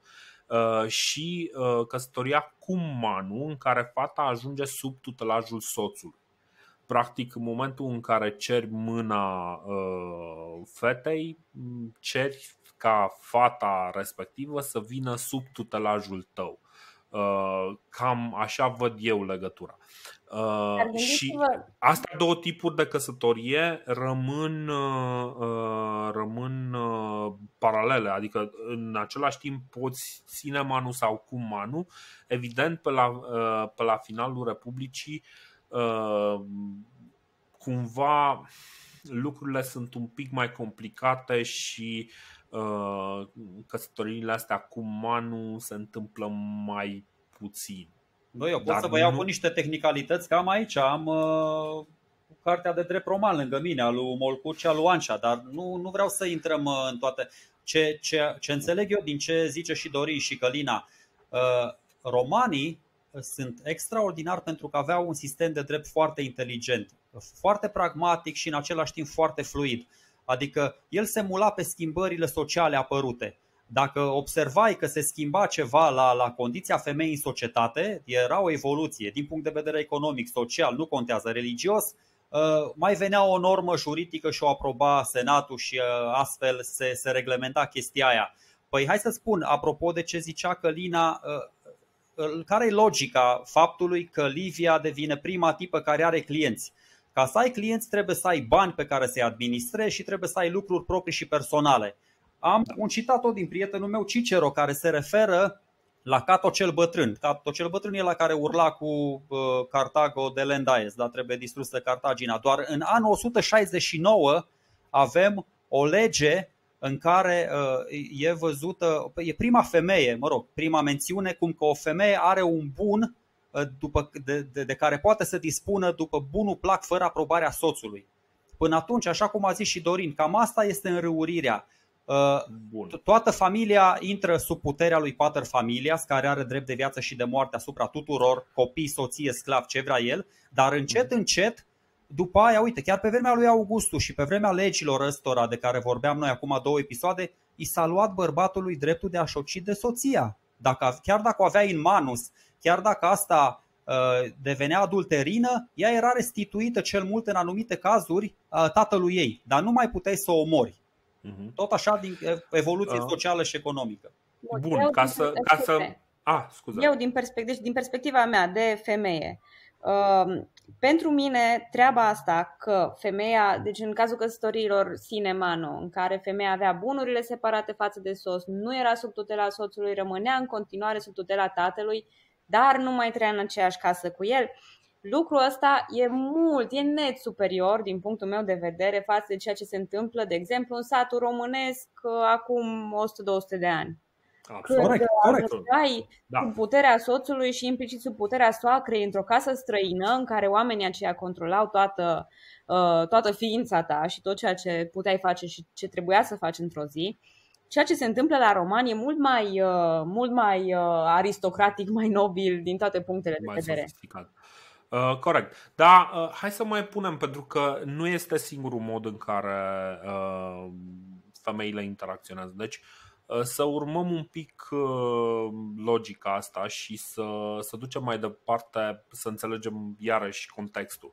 Femeile, în principiu, se, căsători, uh, se căsătoresc în adolescență. Până atunci, în teorie, trebuiau să rămână caste, după care se căsătoresc responsabilitate. Ele aveau în societate două responsabilități. Responsabilitatea de a uh, conduce casa și de a avea grijă de familie și responsabilități din punct de vedere ceremonial religios. Uh, și aici intră uh, în mod interesant uh, chiar și prostituatele care aveau propriile sărbători. Luna aprilie era cumva o luna prostituatelor care aveau diverse sărbători. Veneralia, care era un festival al lui Venus, uh, mai era Floralia, care era o mare sărbătoare și în care prostituatele făcea, veneau și se angajau într-un fel de lupte gladiatoriale, uh, se băteau dezbrăcate în, uh, în arenă. E uh, foarte interesant ce se întâmplă acolo. Ca și idee, se întâmplă, se întâmplă ceva. Deci există un mare exit, adică există un mare pas spre libertate. Ce se întâmplă în momentul în care moare soțul uh, unei femei? Văduvele sunt practic uh, privilegiate în societatea romană, spre deosebire de greci, de exemplu. Văduvele apar foarte frecvent uh, și mai ales văduvele bogate apar ca personaje în, uh, în piese de teatru sau ca și ținte ale atenției la oameni precum Ovidiu. Pentru că văduvele nu numai că nu au obligația de a păstra castitatea sau în momentul în care le moare soțul nu mai trebuie să aibă loialitate față de un bărbat, dar ele ajung și să păstreze uh, diversele, uh, diversele avantaje pe care le avea în urma, uh, în urma căsătoriei. Și uh, acum o să dau un exemplu pentru că uh, am spus la un moment dat, băi, femeile sunt mai vizibile în societate în momentele de război. De ce? pentru că, evident, soții mor. Și uh, vedem, uh, vedem mai multe lucruri. De exemplu, uh, țin minte că uh, după bătălia de la Carne, Fabius Maximus era foarte, foarte deranjat că, băi, femeile prea plâng și le, limită, uh, le limitează perioada de jeluire undeva la 30 de zile. Uh, după aceea, una din cele mai importante legi uh, care, care este dată pentru a combate uh, Uh, pentru a combate propaganda lui Hannibal este uh, Lexopia, care le interzice femeilor să poarte multe podoabe și aur. Și asta e foarte importantă pentru că uh, este clar că în mijlocul războiului ăștia aveau o problemă, bă, stai un pic, ce fac femeile în Roma? Asta era marea lor, marea lor problemă. Și o să vedem mai târziu, câțiva ani mai târziu, să mă uit peste notițe. Așa, în 207, um, femeile își aleg un trezori, uh, uh, o trezorieră dintre, deci practic matroanele care rămăseseră uh, cumva văduve, își aleg o trezorieră și pentru a le gestiona contribuțiile de război și uh, este momentul în care și fermierele bogate, deci uh, femeile care uh, acele femei despre care nu știm foarte multe, care sunt, uh, nu sunt în zona aristocratică, dar au oarecare influență pentru că poate au niște pământ, uh, uh, poate familia lor are niște pământ, ele însă le sunt influente din diverse motive. Poate soțul este foarte slab la afaceri și se descurcă mai bine femeia sau diverse alte motive. Întotdeauna în spatele puterii teoretice a bărbatului uh, se poate ridica oricând o femeie care poate să-l folosească pe la și coadă de topor. Nu a fost niciodată o problemă asta. Uh, este momentul în care fermierele bogate încep să, uh, să se conecteze la rețeaua socială a femeilor bogate din Roma Și aici, cumva, în perioada asta, în timpul războiului punic, se vede o influență din ce în ce mai mare în război. La un moment dat uh, vorbisem despre felul în care Marc Antoniu uh, tratează femeile care vin să se plângă în momentul în care Marc Antoniu uh, vine la Roma și spune nu, nu, nu, femeile trebuie să dea atâta și ele protestează.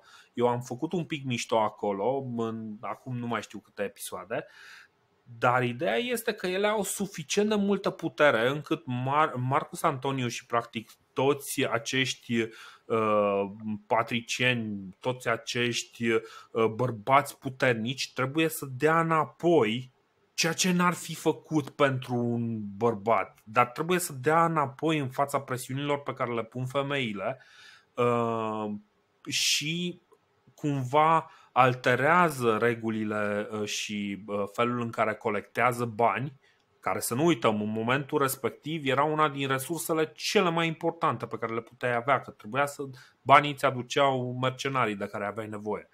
Deci ei trebuie să se restrângă în fața puterii lor pentru că ele într-adevăr au o putere. Cu alte cuvinte, constant există acolo un club, o putere subversivă, există, există prezența lor este acolo. Numai că, pe de altă parte, ai și clubul bă- băiețeilor, Seama care tu, este Senatul. Tu de ce și care, care se uită un pic altfel la, la problemă. Așa. Scuze, tu vorbeai de mercenari în ce perioadă a Republicii Romane? Vorbeai de mercenari? Uh, vorbeam de ăștia, mă, de mercenari, de soldați, de okay, legionari. Okay, așa da, ok, bun. Așa. Uh, nici nu deci, cred că erau foarte plătiți la început, că se duceau din, uh, din patriotism până la reforma lui Marius. Nu erau plătiți inițial. Nu, nu, nu, nu, nu. vorbeam de Marcus Antonius. Mă. Ah, ok, scuze, da, păi de-aia te-am întrebat, da, nu. Așa, așa, așa. Da, n-aș vrea uh, să, să trecem mai departe, dincolo de subiectul ăsta, înainte să spui, Dorine, cum se numește atunci când o femeie devine liberă, ca să spun așa, dacă îi moare soțul sau tatăl. Moarte, cum se numește? Nu. Libertină. Cum se numește? aia, libertinele sunt sclave liberate. Văduvie, mă, nu? Emancipare. A, mă scuzi, nu știam că emanciparea moare, începe odată ce moare bărbatul. De acolo, dacă în momentul în care nu mai ai uh, superviziunea uh, Chestia asta pune feminismul într-o altă perspectivă. Da, uh, de glumesc. Deci uh, treaba cu emanciparea, emanciparea se referă la faptul că ești de sub uh, de sub uh, influența sau de sub uh, ordinele unui, uh, unui bărbat, a unui tată uh-huh. sau a unui soț sau așa mai departe. Pra- practic și, și băieții care, cărora le murea tatăl se emancipau, nu? Exact. Corect. Ok, ok. Doar că emanciparea asta, vezi, poate fi înțeleasă diferit de mai multe femei. Adică unele înțeleg prin emancipare demnitate și libertate. Altele, mm-hmm. nu știu, aleg să vadă altcumva lucruri, dar o să ajungem acolo ca să da. nu... În, în, în, fine, în fine, ideea este că am făcut toată această paranteză pentru a pune un pic în context ce face Livia, pentru că mie mi se pare că Livia uh, nu, nu este prima, dar este prima cea mai puternică sau cea mai vizibilă. Păi fiind da. căsătorită cu, ce, cu primul dintre cetățeni, cu princepsul, e greu să nu fii vizibilă. Din normal că ești păi, prima. Dacă ești căsătorit cu primul, primul plus prima. Am, am, putea, am putea să ne uităm la ei ca la un cuplu puternic. Mm, să-i acordăm merite și ei uh, pentru, uh, pentru ceea ce se întâmplă. Nu? Bun. Bă, am putea, am putea, dar... dar nu vom face pentru că suntem... Uh, o lăsăm pe Călina, o, o lăsăm pe Călina să o, să o facă și noi o să o contrazicem dacă putem. Ei doi proiectau o imagine perfectă, de ce nu? Era un fel de public relations, un fel de advertising, un fel de propagandă avant la letră. Era un fel de, uh, un fel de a fi a acestui cuplu Octavian cu Livia, care uh, voiau să, să inspire o modestie și să inspire o umilință, chiar un fel de uh, ceea ce spunea și Sergiu, pudiciția, pieta și așa mai departe. Um, acum, și Octavian, voi ați vorbit despre, despre lucrul ăsta, că și-a luat titlurile de Augustus, Princeps Civitas, Princeps Senatus, Senatus Adică primul din, uh, din Civitas, primul din oraș și primul din Senat. pentru că el prefera să strângă puterea, dar să păstreze aparențele și el asta, asta făcea și mulți dintre împărații care i-au urmat nu au înțeles că, de fapt, uh, secretul succesului lui Augustus nu a fost uh, nici partea cu strângerea puterii, nici partea cu aparențele, ci toate uh, luate împreună. Deci el a reușit să facă lucrul ăsta și uh, se, se mândrea cumva, cumva uh, cea mai bună aparență pe care o putea proiecta el era că e ceva natural ca el și Livia să primească anumite onoruri, pentru că sunt prima familie, sunt atât de buni, sunt atât de modești, sunt atât de respectabili, încât e normal să-i respectăm, nu? Și eu mă amintesc, de exemplu, de o poveste de la Peleș, când ne-a povestit ghidul că um, regele Carol I mânca pe smeți noaptea și își cârpea singur ciorapii. Și uh, încerca să dea uh, impresia că uite-te ce om uh, modest și down to earth era Carol I și cam asta au încercat să proiecteze și Augustii în jur. Nu știm. Mm-hmm. Bă, tu zici o chestie foarte tare aici, dar uh, îți spun de ce s-a întâmplat așa. Toți ceilalți împărați nu aveau uh, vie în fața ochilor asasinarea lui Cezar, care a fost primul care a încercat să strângă în mâinile lui toate titulaturile posibile și imposibile. Octavian a văzut ce se întâmplă când face asta brusc. Ceilalți au uitat.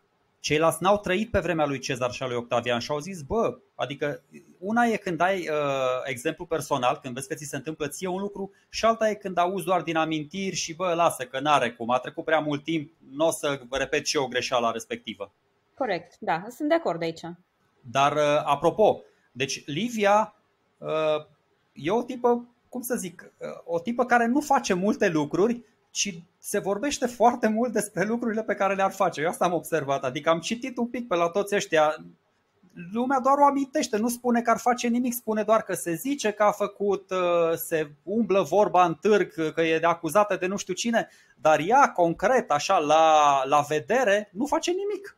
Exact ca Octavian, că nici Octavian n-a făcut prea multe la vedere și le-a făcut pe toate um, și eficient, dar a reușit să le facă păstrând în același timp aparențele ca și cum Republica Romană încă există, ca și cum lucrurile sunt exact la fel. Și Livia a reușit să facă același lucru. Asta e o greșeală și continuăm să, să repetăm și să rostogolim greșeala asta. Nu, Octavian nu face nimic, e foarte bine cum ai spus. Haide să, să, să transmitem ideea asta mai departe haideți să o spunem cu voce tare și pe mai multe voci, uh, chiar și în sistemele autoritariste, uh, un singur om nu poate să facă totul. Deci uh, puterea trebuie împărțită și cu cât o împarți mai bine și mai vretnic și mai, mai inteligent, mai eficient, cu atât e mai bine. Deci Octavian, hai să nu mai da, mai enervează chestia asta cu liderul absolut. Liderul absolut este o utopie din toate punctele de vedere posibile. Absolut. Dar o împarți cu prietenii tăi și nu mai treci prin toate uh, problemele legate de alegeri libere, de democrație reprezentativă sau de alte lucruri. Îi Cred facem un mic dosar uh, Liviei. Uh... Da, da, că și eu vreau să mă refer un pic la ea. Uh, scuze, uh, poți repeta, te rog? Dacă? Nu, uh, întrebam dacă să facem un uh, mic dosar Liviei, ce, ce îi se impută sau ce îi se aruncă în Îi facem, până la urmă, sigur că îi facem.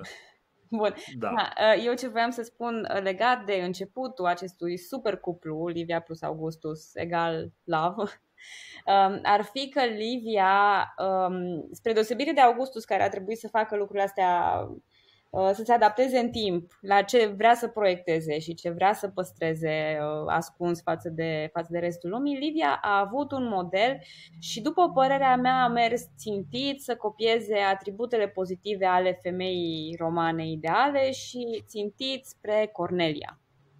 În afară de treaba că Cornelia, pardon, că virgulă, Cornelia a crescut uh, doi de, de fapt nu, scuze, uh, Livia și Livia a avut, uh, a avut uh, doi fii și Livia uh, s-a comportat în stilul Corneliei și multe lucruri sunt paralele, să zic, între, între viețile lor. Uh, Livia și Augustus locuiau modest într-o casă de pe dealul Palatin, ea purta haine modeste, purta puține bijuterii, uh, de multe ori ieșea în fața casei și țesea sau cosea, producea haine ca să arate cât de simplă și de modestă este. Și cumva ei dădeau, Livia dădea ora exactă în materie de cum ar trebui să fie o femeie și uh, ei doi ca și cuplu dădeau modelul și ora exactă în materie de cum ar trebui să se comporte familiile.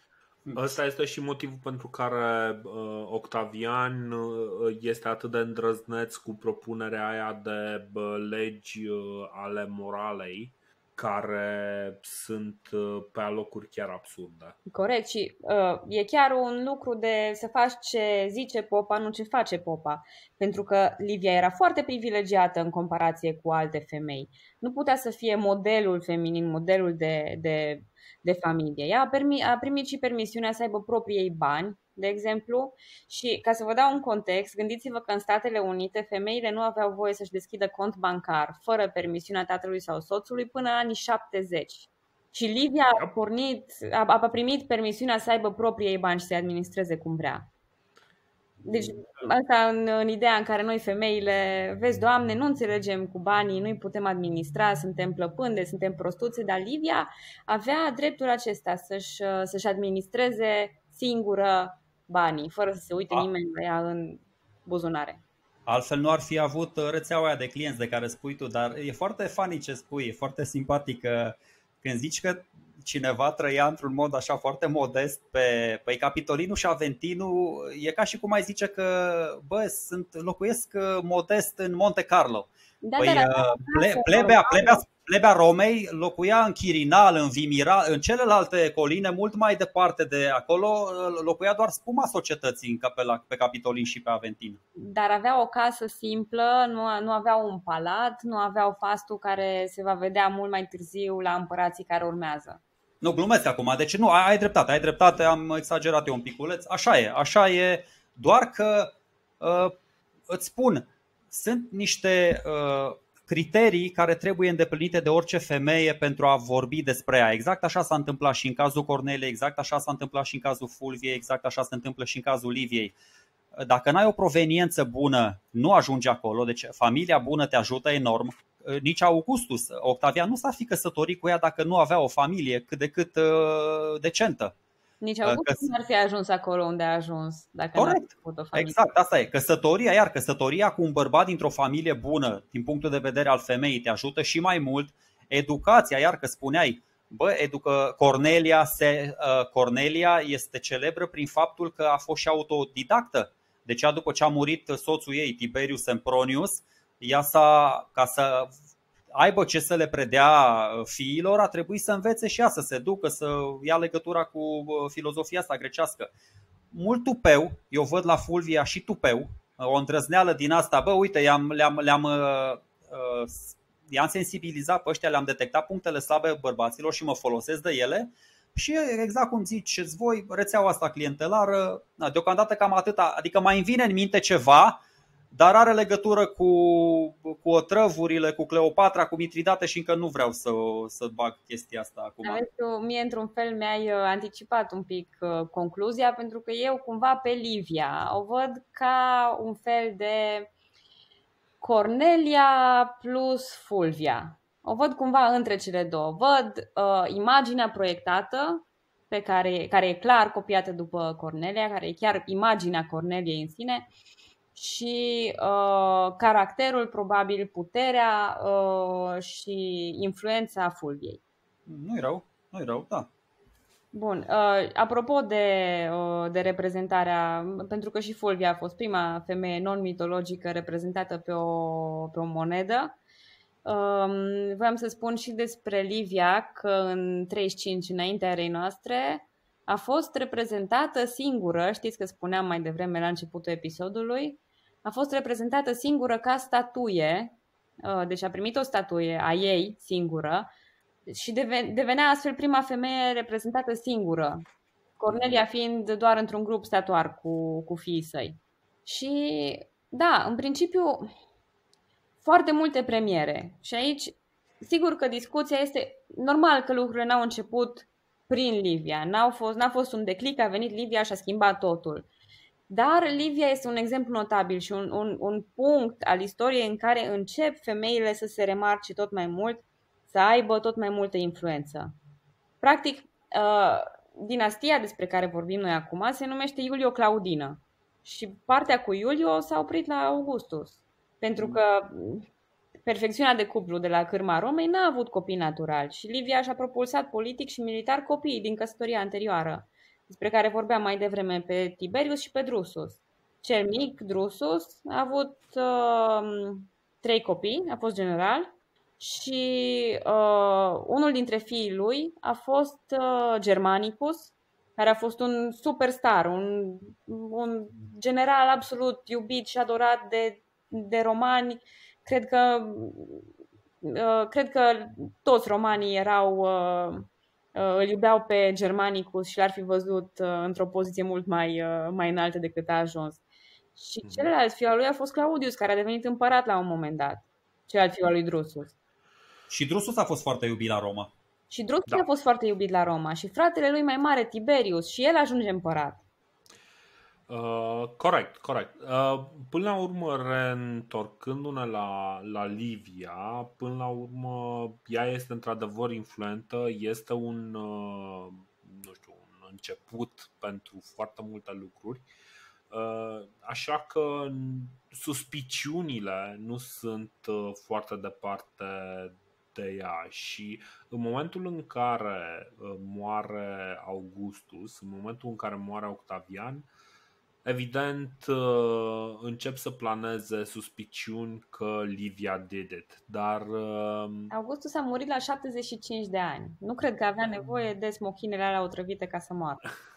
Bun, uh, hai să vedem exact care sunt și zvonurile astea care s-au tot lansat, pentru că uh, aparent de fiecare dată când murea cineva care era cumva un bun candidat pentru conducerea viitorului imperiu, Livia did it. Livia este, este printre persoanele care sunt suspectate că ar fi avut uh, influență în sensul ăsta. Și poți să ne zici un pic despre chestia asta? Da, deci uh, acum gurile rele, și prin gurile rele vreau să zic Tacit și Cassius Dio, uh, spun că Livia s-a îngrijit de moartea potențialilor rivali la succesiune. Uh, da, uh, chiar voiam să vă, să vă spun că eu am un fel de PTSD cu explicarea arborilor genealogici.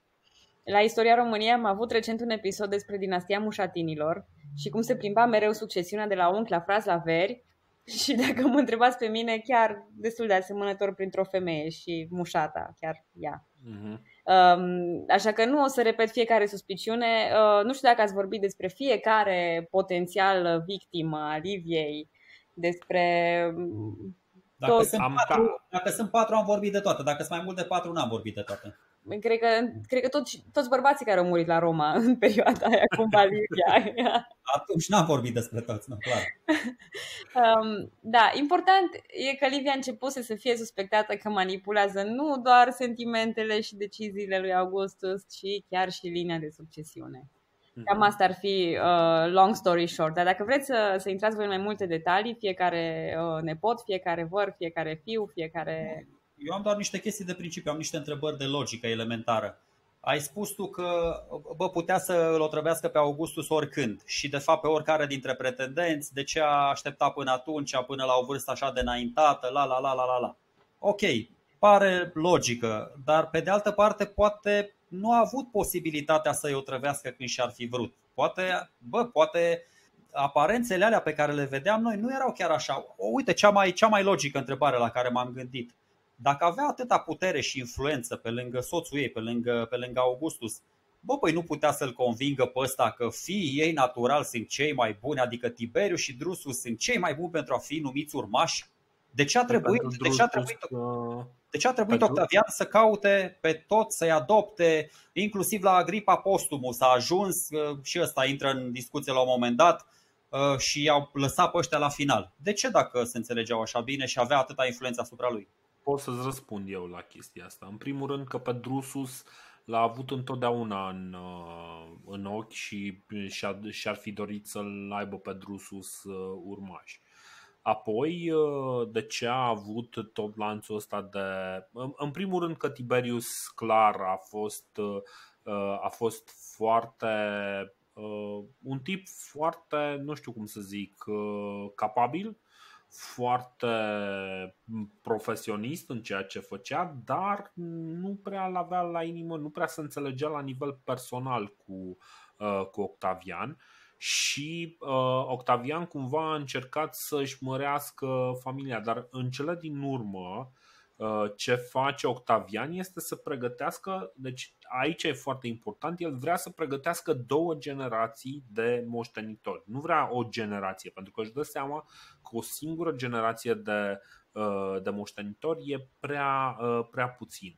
Și el și-ar dori să facă uh, niște echipe de câte doi, pentru că de-aia, dacă observi, întotdeauna au fost doi. A fost Tiberiu și Drusus, după care a fost Tiberiu și nu mai știu care. Și problema a fost că în cele din urmă au cam murit ei din diverse motive și uh, s-au ajuns la, la aceste soluții. Eu, eu, nu mai știu eu nu văd lucrurile așa. Eu nu văd lucrurile așa. Nu... Cred păi, că uh, eu... a fost Scuze, scuze, spune. Cred că încurc eu pentru că mi-am făcut documentarea și pentru alte câteva chestii istorice săptămâna asta și oare uh, unul, una dintre victimele Liviei nu a fost, uh, nu a căzut de pe cal sau ceva de genul ăsta? Da, Drusus. Așa. Da, da, n-avea cum să fie victima ei. Deci Ăsta a căzut de pe cal la Elba, a căzut aproape de Dresda când se bătea păi da, cu da, tot Livia e suspectat. Ah, ah ok, da, cu Trusus. Da, am înțeles, am înțeles. Dacă încercăm să aplicăm briciului Ocam, uh, teoretic cea mai simplă explicație ar trebui să fie explicația corectă. Prea, sunt prea multe morți, Augustus a murit prea în vârstă, ceilalți, ceilalți rivali ai lui Tiberius au murit în condiții absolut normale, de boli, de, de accidente, în care Livia nu avea cum să se implice, numai dacă nu cumva ea a luat un ciocan și a lovit genunchii calului. Ar fi avut cum să se implice, dar ar fi însemnat, deci dacă într-adevăr Livia ar fi fost capabilă să omoare toți oamenii care, uh, de care e suspectată că i-ar fi omorât, atunci, într-adevăr, Livia e cea mai tare persoană din uh, Republica, de la sfârșitul Republicii Romane, fără doar și fără poate. Adică, efectiv, este, are o rețea de, uh, de asasini absolut fără, fără nicio pată. Uh, pentru că reușește prea mult și uh, la prea mare distanță. Da, de acord. Aici sunt de acord cu tine. În schimb, nu sunt de acord cu tine când spui că uh, l-a preferat pe Drusus. Păi l-a preferat în primul rând pe Marcelus înaintea lui Drusus. Dorine, a preferat pe alți doi care au murit. Drusus a fost varianta 4 sau 5, iar Tiberiu a fost varianta 6 sau 7, din păcate. Iar faptul cu două generații, Păi el n-a fost în stare să gând... Când l-a numit pe Agripa, Agripa era de o vârstă cu el, n-a fost în stare să gândească nici măcar o generație înainte. Ce spun eu e să nu-l bănuim totuși pe Octavian de mai multă inteligență decât avea. Hai să nu-l facem totuși padișahul padișahilor. A avut foarte multă uh, calitate în jurul lui, a avut oameni bine puși. Uite, e, e bună teoria Călinei. Nu știu cine i-a pus acolo. Poate că Livia a avut uh, un merit a avut un merit că i-a zis, bă, uite, dar din nou spun, dacă era atât de puternică Livia, era atât de ușor să uh, îl determine pe Octavian, bă, copiii mei sunt cei mai apropiați de mine, de tine, numește-i pe ăștia, uite, sunt și tinerei, și frumușei, și capabili, ți-au demonstrat atașamentul, nu trebuie să te înțelegi foarte bine cu ei. O să vedem, uh, spoiler alert, nici măcar copiii, o să vedem că Livia nu o să se înțeleagă deloc bine, nici bine, Drusul săracul a murit între timp, a căzut pe cal, dar nici cu Tiberius relațiile nu sunt deloc uh, roze, ca să zic așa, sunt relații reci, pentru că așa erau oamenii ăștia. Noi ratăm din nou istoria și înțelesul istoriei pentru că prezentăm lucrurile pur instituțional, dar când vorbim de femei, în primul rând trebuie să ne, ne referim la psihic și o să spun acum cea mai tare chestie, la cea mai, relații, cea mai... La relații interumane. Da, cea mai mare calitate a unei femei, cea mai mare calitate este faptul că are uh, acces la nevoile de bază ale bărbatului. Nu doar că are acces, dar uh, îl și poate controla în felul ăsta. Dar faptul că ești cu ea la braț, faptul că te duci la o cină împreună, faptul că participi la tot felul de evenimente, ok, asta poți să o faci de fațadă, am înțeles. Era o vorbă în Save by the Bell, You're cool by association. Livia era tare, era șmecher, adică renumele și prestanța lui Octavian se proiectau automat și asupra Liviei. Dar celelalte chestii mai mistice, până la urmă, bă, dormi noapte de noapte alături de soția ta niște câmpuri magnetice acolo, nu știu, te trezești, te, te culci, nu vorbesc serios, bă, lasă bancurile. Nu, nu, te du, nu te du în okay. direcția cu câmpuri te, magnetice. Te, te culci cu ideile tale, te trezești cu ideile nevestei, nu știu, te influențezi reciproc acolo. Există, uite, la Octavian, cum a zis și Călina, există sentimente, există Cred. atașamentul ăsta care se creează în timp, există obișnuința. Toate chestiile astea uh, o fac pe o femeie mult mai uh, puternică decât ne imaginăm. Și încă niște chestii aș spune. Stai, da, stai, stai, stai, stai, stai un pic. Cred că ceea ce vrei tu să spui într-un fel care nu este sexist și uh, nu, nu uh, face apel la parapsihologie este de fapt că femeile, așa cum ziceam și eu ceva mai devreme, uh, femeile au ca și responsabilitate uh, practic administrarea uh, casei și uh, grija, grija familiei. Și asta înseamnă că absolut tot ce se întâmpla afară, da, ok, era treaba bărbatului ce se întâmplă afară, dar în momentul în care pătrundea în casă, șeful era, uh, era femeia. Cam asta este ceea ce vrei tu să spui. Da, nu, ce vreau eu să spun e că având uh, acces la spațiu intim și la spațiu personal al soțului, Uh, Influență, da, e, e simplu de văzut cum ai, La fel și Livia, avea acces într-o mai mică sau mai mare măsură și uh, asupra cercului de apropiați, oamenii de încredere care veneau și ca în cazul lui Cezar, mai veneau un Decimus Brutus la el, mai veneau un uh, Brutus, mai venea un...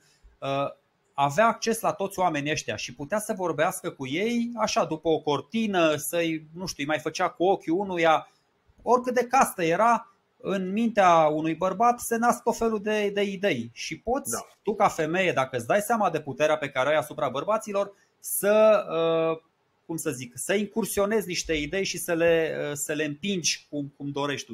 Prin sugestii, prin sugestii poți să... Asta, pe lângă otrăvuri, veninuri de viperă, cucută și alte prostii din astea pe care le folosea Mitridate sau Cleopatra. Uh, Călina, eu am o întrebare pentru tine. Uh, din punctul tău de vedere, uh, care model este mai influent? Lucreția, Cornelia sau, sau Livia? Depinde la ce te referi prin influent. Și că Iulia. Cine m-a marcat pe mine cel mai mult, clar? Uh, nu, spune că e și asta interesant. Pe mine clar, clar Cornelia și spuneam asta chiar la începutul episodului, că dacă ești mamă și pasionată de istorie, e imposibil să nu fii auzit și să nu-ți placă la nebunie ideea de Cornelia.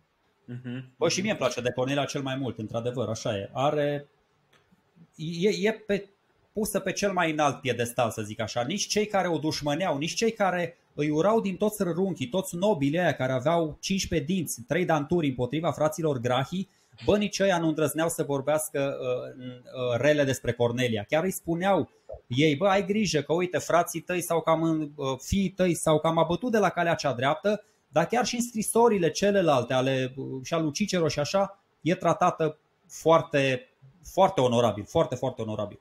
Da.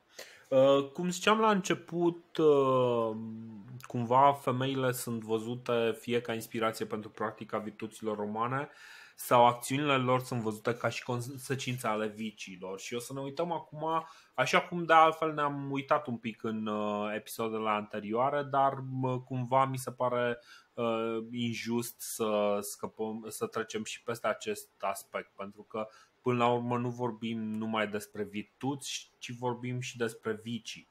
Și, uh, să trecem la partea cu vicile și la femeile mai așa. simple sau la femeile din, uh, din condiții mai care n-au avut atât noroc ca Livia, aș uh-huh. vrea să fac o mică încheiere legată de Livia, dacă se poate, și anume, sigur, sigur, sigur. fără să trec, în, fără să trec de, uh, de zona de domnie a lui uh, Augustus prea mult, Uh, în testamentul lui, ea a fost numită, um, a fost adoptată în familia Iulilor și a primit numele de Iulia Augusta, dar nu se va ține minte în istorie lucrul ăsta. Ea va fi ținută minte sub numele de Livia, pentru că sunt deja destul de multe Iulii.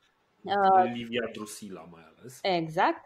Uh, aceasta i-a primis ei să păstreze prestigiu și o parte din puterea pe care o avea Bineînțeles că nici ea nu mai era chiar în floarea vârstei, dar încă o țineau puterile și va mai fi prezentă, va mai încurca câteva ițe și de aici încolo.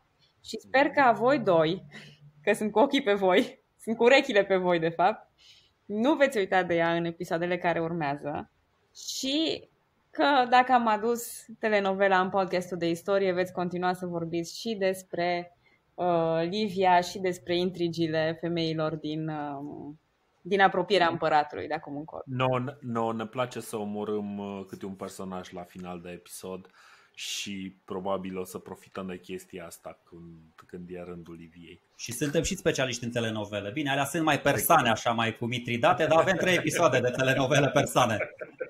Așa, așa, așa, da. Uh, bun, acum, cum ziceam, ne-am uitat la virtuți și, uh, sincer, eu nu sunt foarte convins, uh, pentru că mi se pare că totul e propagandă sau, sau un pic de înapoiere din punct de vedere social. Hai să ne uităm un pic la ce se întâmplă în, în rest, pentru că Așa cum spuneai tu, ai folosit un cuvânt foarte mișto, emancipare. Spre sfârșitul Republicii Romane, femeile sunt mult, mult mai emancipate și uh, vreau să mai pun în uh, vedere un aspect și știu că deja ne lungim, dar uh, merită uh, punctat lucrul ăsta. Republica Romană are un. Uh, uh, prezintă un aspect foarte interesant. Uh, dacă mai ține minte când era vorba de războiul punic, uh, atunci uh, mai ales Sergiu insista pe Uh, fantastica capacitate de regenerare din punct de vedere uman a uh, romanilor. Și anume că făceau copii în prostie. Asta nu este o chestie care e specifică numai romanilor, este o chestie care este specifică tuturor uh, societăților din antichitate. Ce se întâmplă însă la sfârșitul Republicii Romane este o mișcare inversă. Republica Romană este regenerată nu prin producția de copii, ca să spunem așa, ci este regenerată prin importul de, de oameni.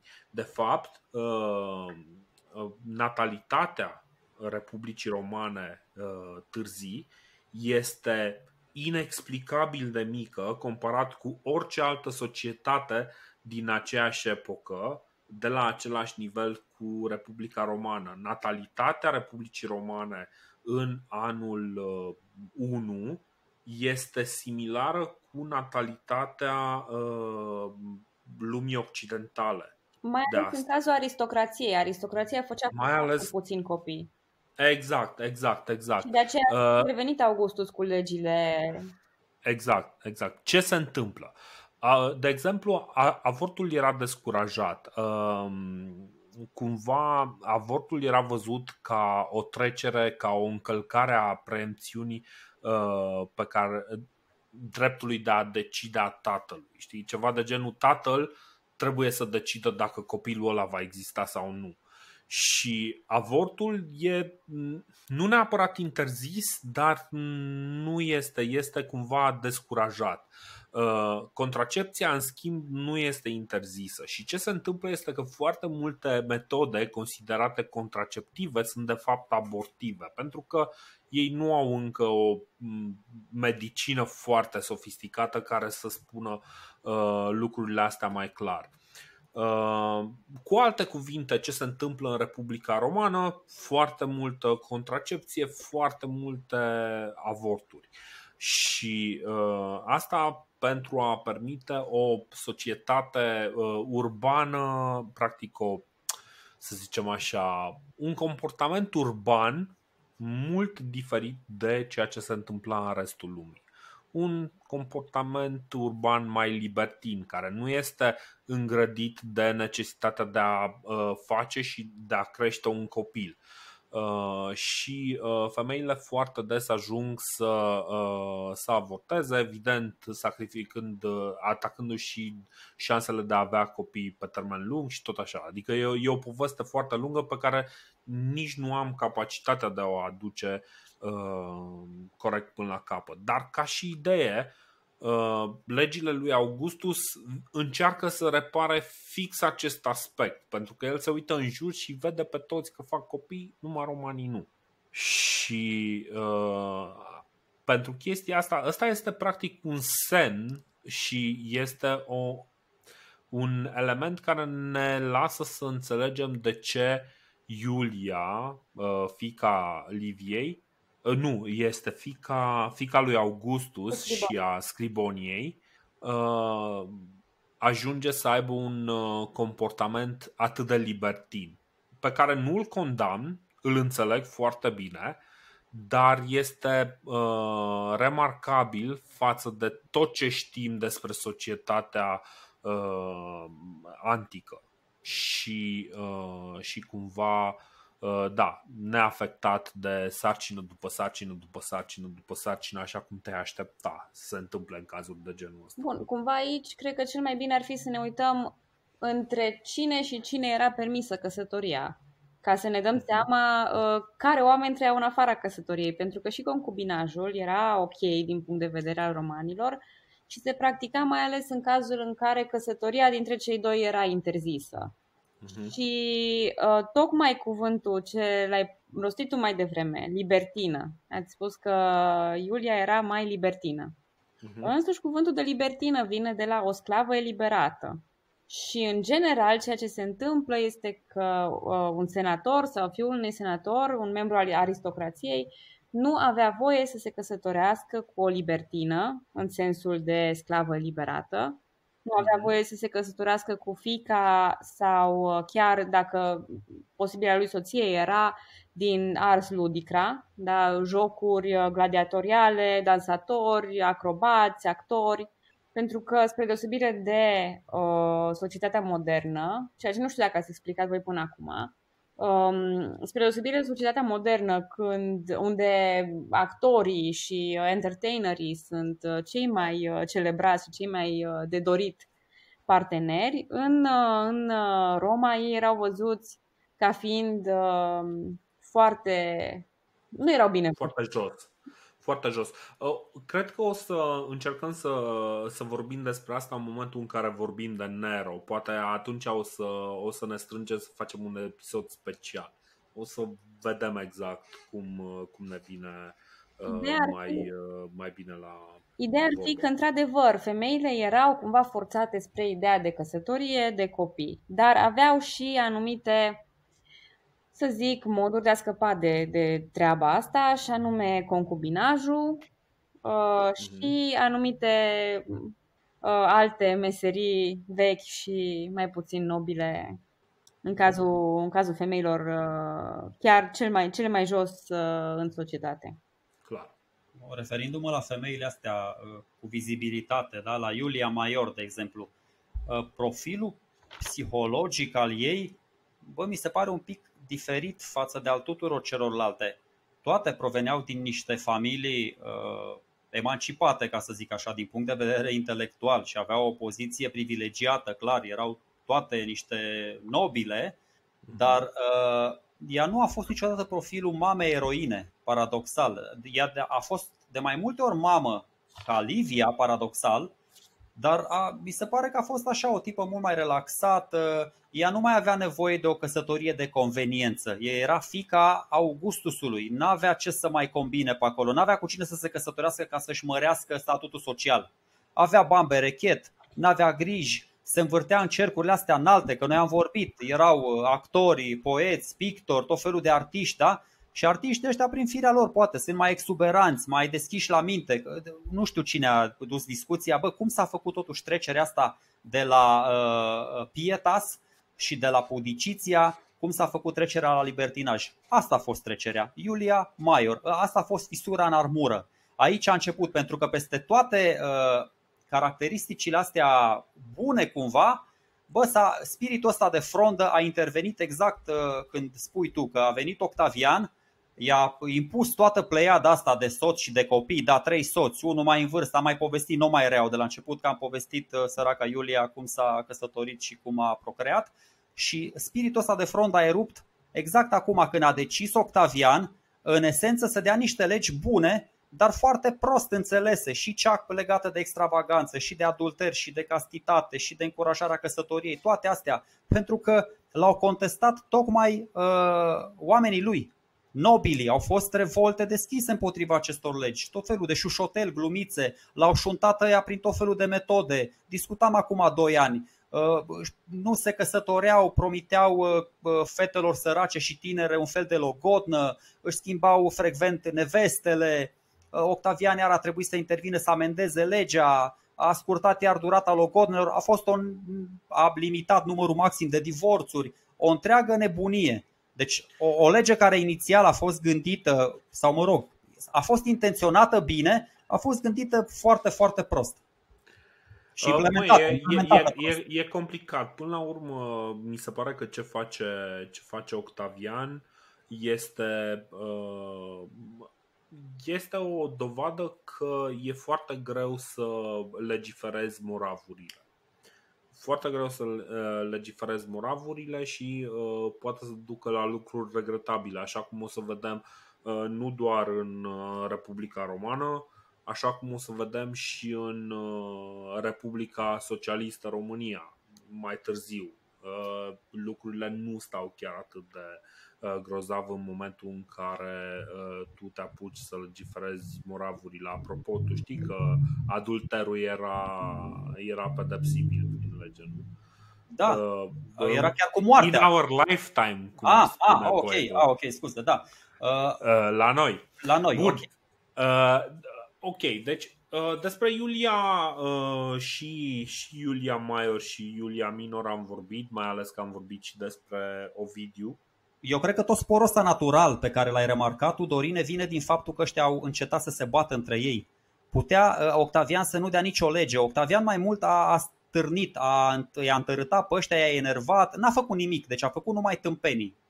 Legea Oricum, asta a fost legea, o prostie, legea, dacă da, le, legea asta este o prostie și uh, Marea, uh, deci, până la urmă, legea oricum nu prea putea să o impună al cuiva decât uh, unei pături foarte subțiri, care era uh, aristocrația romană.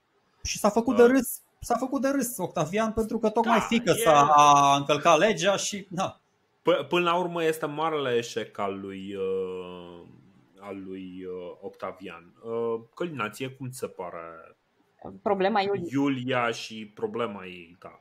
Eu tind să fiu de acord cu, cu ceea ce spune Sergiu, și anume faptul că Iulia a, a făcut lucrurile acestea dintr-un spirit de frondă și din, din nevoia de a se exprima și de a, de a ieși cumva din, din cotidianul și din impunerile, din restricțiile uh, la care era supusă. Mhm, mhm. Deci, ce mi se pare mie remarcabil aici este că uh, Uh, este printre primele persoane care scapă cu adevărat din, uh, din cleștele uh, organizării familiei romane în mod normal. Pentru că chiar și, chiar și copiii, cum, cum a fost de exemplu Cornelius Sula, Cornelius Sula care era un tip reprobabil, dar pe care armata l-a făcut ce l-a făcut. Um, Reprobabil din ce punct de vedere? Că îi plăceau Din punct de vedere moral. Ah. Din punct de vedere moral. Uh, ce, uh, ce a făcut Iulia diferit este că ea nu a mai avut, deci ea a fost acel copil de bangata care a făcut lucrurile astea fără să dea, uh, fără să-și asume responsabilitatea a deveni, nu știu, un pater familias. Ea nu avea această responsabilitate, pur și simplu a făcut lucrurile respective, uh, le-a făcut fără să aibă, să zic așa, o uh, uh, din punct de vedere al virtuților romane, niște calități care să o, să o nu știu, să, să compenseze. Bă, e pentru, culmea. pentru ceea ce a făcut. E culmea că le-a îmbinat pe toate. A, a îmbinat și, și pietatea și libertinajul extraordinar. Mie de-aia îmi place așa de mult de Iulia Maior. Uh, ea, ea a fost, ți-am spus, a fost o mamă mai eroină decât Livia. Păi a avut cinci copii numai cu Agripa. Despre ce vorbim da. aici? Ea și-a trăit și viața, adică a onorat Imperiul, a onorat Republica mai mult decât a făcut Octavian cu nevastă sa împreună. și a făcut, Bine, mie, a făcut mie, mi se pare că, mie mi se pare că la Iulia lucrurile se, se rup în momentul în care se căsătorește cu Tiberiu. Păi da, uh, atât a suportat și ea, i-a ajuns, a umplut paharul acolo. Și, și practic este, este, da, da, gândește că e practic primul caz de revoltă, chiar dacă o revoltă uh, așa prin subterfugiu, uh, o revoltă contra, uh, contra practic practicilor părinților de a-și trata fiicele ca pe niște cai de cursă, știi? Ca pe niște, ca pe niște proprietăți până la urmă. Ca să și ăsta, ăsta este protestul ei, practic. Da, dar spun și ce condiții. mult timp înainte de parentingul modern. Îți spun și în ce condiții a intervenit uh, revolta asta ei. Ea nu mai stătea cu taică Dacă ea ar fi stat, ea s-a mutat, a plecat. După ce a divorțat, ea s-a dus cu maică sa, cu Scribonia. Dacă Iulia ar fi stat cu Octavian în casă cu Octavian, păi n-ar, n-ar fi mișcat în front. Ea s-a dus mai după aia cu Agripa, s-a dus, deci ea stătea în altă parte, beneficia de o rentă, na, că se îngrija totuși Octavian, le mai dădea niște bani, avea despre ce, da, cum să-și uh, petreacă timpul liber și plus că mai moștenise, na, cum zicea și, și Călina, dar toate relațiile astea, toată clientela, dar spun, uh, bă, nu, n-ar trebui să o vedem pe Iulia în, uh, că aici, nu știu, mi se pare, da, pudiciția, impudiciția, nu cred că ar trebui să facem greșeala să o vedem în antiteză cu celelalte trei femei, cu Lucreția, cu Cornelia și cu Livia de dinainte. Mi se pare nu știu, un pic diferită sau chiar mai mm, complexă dintr-un punct de vedere. Este, este într-adevăr mai complexă, e cumva un uh, ideal roman care la un moment dat eșuează pentru că uh, regulile alea nu sunt făcute pentru oameni, sunt făcute pentru uh, stânci, pentru, pentru pietre, nu pentru oameni. Și uh, practic este, na, e primul om dintre femeile pe care le-am discutat pe aici, pentru că mi se pare mult mai umană și decât Livia și decât uh, Cornelia și clar mult mai umană și decât uh, Lucreția. Adică uh, cu toate mai autentică. Este mai autentică, exact. Să, să folosesc un cuvânt cât mai țintit pe, pe chestia asta. Exact, exact, exact. Uh, Păi, eu cred că cumva avem, avem deja patru exemple pe care le-am, le-am discutat. Am încercat să punem un pic. Evident, nu, o să, nu am intrat în discuțiile teziste. Adică dacă, dacă vroiam, puteam să intrăm, să discutăm diverse teze. Uh, mi se pare că pentru a înțelege unde sunt femeile în narațiunea uh, pe care, pe care o spunem, Uh, femeile sunt acolo unde uh, oamenii care au scris istorie nu prea s-au uitat. Sunt la ei acasă, sunt lângă ei, sunt, uh, sunt în jurul lor, sunt în locurile care sunt greu de văzut pentru că există o anumită miopie în care noi ne uităm după anumite lucruri. Pe măsură ce înaintăm, și avem mai multă informație, începem să vedem mai multe, mai multe lucruri, să, să, chiar, să, chiar să ajungem uh, să vorbim despre niște modele mai umane, mai autentice, cum, cum spuneai și tu. Și uh, o să vedem că mai târziu lucrurile evoluează și mai interesant. Uh, și o să găsim noi și noi personaje. Uh, mai sunt, dacă aveți ceva concluzii? Eu aș fi vrut să vorbesc înainte și despre uh, cum arătau, cum, uh, ce făceau femeile în timpul unei zile, dar cred că ne-am întins uh-huh. destul de mult.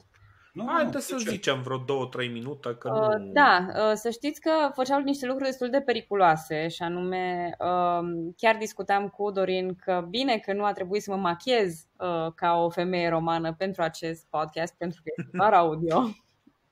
Uh, și anume uh, își șalbeau uh, fața cu arsenic sau cu cretă, foloseau carmin pentru obraj și plumb pentru evidențierea ochilor, deci linia aia de tuș cu, cu codiță de Nike nu era făcută cu, cu ceva sofisticat, ci era făcută cu ceva pe bază de plumb. Lucrurile wow. astea uh, erau destul de periculoase după cum Arsenic și plumb, cele mai comestibile elemente chimice. Exact. Ceea ce înseamnă că femeile romane uh, sub uh, stratul de machiaj nu arătau probabil foarte bine, pentru că sunt și lucruri care creează dependență. Uh, dar să știți că își vopseau părul în brunet, roșu, blond, purtau peruci de cele mai multe ori și asta s-a păstrat până în 600 și când au început niște presiuni un pic mai puternice din partea creștinilor, um, care erau cumva împotriva perucilor. Uh, dar uh, extensiile pe care le vedeți astăzi sunt uh, la fel de comune, erau la fel de comune și pe vremea, și pe vremea romanilor. Și bărbații și femeile se epilau. Okay. Um, femeile purtau în general bijuterii, asta după cum s-a înțeles și din povestea Corneliei, purtau bijuterii, de exemplu cercei, coliere, inele. Și Dar era o dovadă de virtute dacă nu o făceau sau dacă o făceau cu bun gust și cât mai simplu. Aha. Și un mhm. lucru care mi s-a părut foarte interesant legat de corpul feminin și de înfățișarea feminină, un lucru care este complet diferit față de ceea ce avem astăzi, idealul de femeie avea sânii mici ce înseamnă nimici? Acum, deci, ce, ce e aia? Adică era Bun. piept de băiețel deci, sau... Uh, femeile romane își strângeau încă de când erau, uh, încă de când erau virgine, încă de când erau în copilărie, când începeau să le crească sânii și strângeau cu o bandă ca să uh-huh. îi restricționeze cât mai mult să nu crească. Uh-huh. Și uh, lucrul ăsta pentru că o să vedeți că inclusiv în uh, picturile și în, uh, și în, uh, în toate depicțiile unor scene, chiar și sexuale, prostituatele poartă acea bandă peste sâni.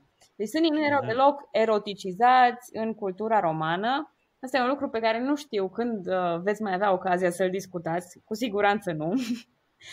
uh, dar uh, mi se pare foarte important de văzut um, și fizic cum, uh, care sunt diferențele. Pentru că, sigur, noi putem să vorbim la nesfârșit despre diferențele politice între societatea noastră și societatea lor, dar uh, mi se pare că trebuie să vorbim și fizic și uh, lucrul ăsta, uh, să știți că nu de la romani îl avem. Deci uh, îl avem din, uh, din zona creștină în care se punea accent pe o pudiciție chiar mai mare decât, uh, decât cea descrisă de Sergio. Mm-hmm. mari erau un semn de bătrânețe și de ridicol. Erau uh, efectiv arătate pe stradă femeile și râs de ele în cazul în care... Da, da interesant. Nu știam, uh, nu știam aspectul ăsta. Uh, poate la un moment dat o să vorbim despre sclavie, prostituție și uh, alte lucruri de genul ăsta interesante, dar recunosc habar n-am în ce, în ce context, uh, deși la un moment dat va trebui să explicăm ce și cu mesalina. Dar, uh, da, uh, bun. Păi, mersi mult pentru, pentru concluzii. Da. Voi mai aveam niște citate, pana mea, adică voi Ia, să... bagă, citate, haide, că mai e două care, minute. Care stau tot în centrul lor femeia, evident. Uite, hai să încep cu Platon, așa, la, da? Deci, bine, mă rog, nu citate, am, ci mi-am notat eu niște chestii aici. Platon zice că singura diferență între bărbați și femei este forța fizică, evident, da? Și, mă rog, femeilor, da, mă rog, ar trebui să le, să le fie oferită lupta, uh, nu, să le fie oferită ocazia uh, să se implice în viața cetății, pentru că la unele capitole uh, s-ar putea să fie mai bune, mai inspirate decât bărbații. Da? Okay. Unul, unul din aceste capitole, evident, este aducerea pe lume al pruncilor. Da? Așa zice Platon. Dacă doar forța fizică îl deosebește radical pe bărbat de femeie. La toate celelalte se poate găsi o, o colaborare. Aristotel, care vine imediat după Platon, zice că bărbatul e prin natura lui superior femeii, da? Și de aceea bărbatul trebuie să conducă, iar femeia trebuie să fie supusă. Ok, îl avem și pe ăsta. Vine un tip, un dramaturg grec, de asta vă spun, condiția femeii în Grecia era un pic mai tristă. Da. Alea dormeau în altă parte a camerei, mai stăteau cu sclavele, se întâlneau filozofii ăștia și discutau ei acolo și cumva le, le dădeau într-o parte. După aia vin romanii, după romani vin uh, egiptenii și cei din est. Vedeți culmea că ăștia, elenismul a evoluat uh, dubios în afara Greciei. Adică femeile au început să se emancipeze mai mult în afara Greciei decât în Grecia și cele mai tari femei sunt în Sparta. Și regina Gorgo, da, care apare și în uh, Civ 6, apare tot așa, apare la Plutarh, apare la Plutarh în viața lui Licurg. Soția lui Gerard Butler. Da, exact, exact. exact. Așa. Uh, spune așa că femeile spartane sunt mai puternice decât bărbații spartani pentru că doar ele pot da naștere bărbaților spartani. Ceea ce mi se pare foarte logic. Da. Și mai e Socrate, Socrate, ba nu, și Aristofan. Aristofan mai zice, are piesele sale cu niște personaje din astea uh, feminine foarte puternice care de obicei îi persiflează pe bărbați ca să vedem că există tot felul, adică sunt unii de partea femeilor, alții care cumva le, le denigrează. Uh, deci Menandros ăsta spune că femeia e un uh, rău necesar și că sunt multe ligioane sălbatice pe pământ și în apă, dar cea mai cea dintre toate e femeia. Și o să termin, o să, o să termin într-o notă pozitivă Socrate. Socrate e cel mai tare de departe. După ce s-a căsătorit, el zice așa, bă, dacă nimerește o nevastă faină, ești fericit. Dacă nu, ești filozof. Și el a fost filozof. ok. Uh, bun. E clar că uh, situația femeii în, uh, în lumea antică este, este complexă. Diferă de la, de la stat la stat, chiar uneori de la oraș la oraș, uh, orașe cât de cât apropiate, uh, așa cum sunt Atena și, și Sparta. Uh, este clar că nu avem uh, suficientă informație cât să înțelegem uh, exact care este situația și uh, Bine, putem să ne uităm cu spiritul revanșist al uh, feminismului de internet de astăzi și să, uh, și să vorbim despre inegalitate și, și inechitate socială. Eu ce cred este că societatea romană este profund inechitabilă și nu are nimic de a face cu faptul că cineva este femeie sau nu, sau că cineva s-a născut sclav sau nu. Are de a face cu absolut orice poziție din, uh, din uh, Republica Romană, că ești bărbat, că ești femeie, că ești orice, nu, nu are nicio importanță, intri în aceeași structură complexă, dar uh, eminamente, uh, cum să spun, n-aș zice tiranică, dar e clar opresivă. Și uh, Imperiul, cumva, cel puțin așa cum îl vedem de acum, se prefigurează a fi o poveste complet diferită din punctul ăsta de vedere. Uh, lucrurile e drept, genul de restricții pe care le au uh, oamenii din Republica Romană sunt niște restricții care funcționează cât timp Republica Romană se gândește la ea însăși ca la, o, uh, ca la un rezultat al unei cetăți, unei singure cetăți, unei singure localități care e drept a crescut peste măsură, dar este un singur loc pe lume. În momentul în care uh, Roma acceptă faptul că este în momentul ăsta responsabilă pentru întreag, întregul bazin uh, mediteranean, lucrurile uh, arată un pic altfel. Uh, ce mai vreau să spun uh, aici este că, într-adevăr, uh, nu o să, eu, eu nu, nu prea știu ce să spun. Uh, nu știu dacă e bine, de exemplu, să fii femeie în uh, Republica Romană sau nu.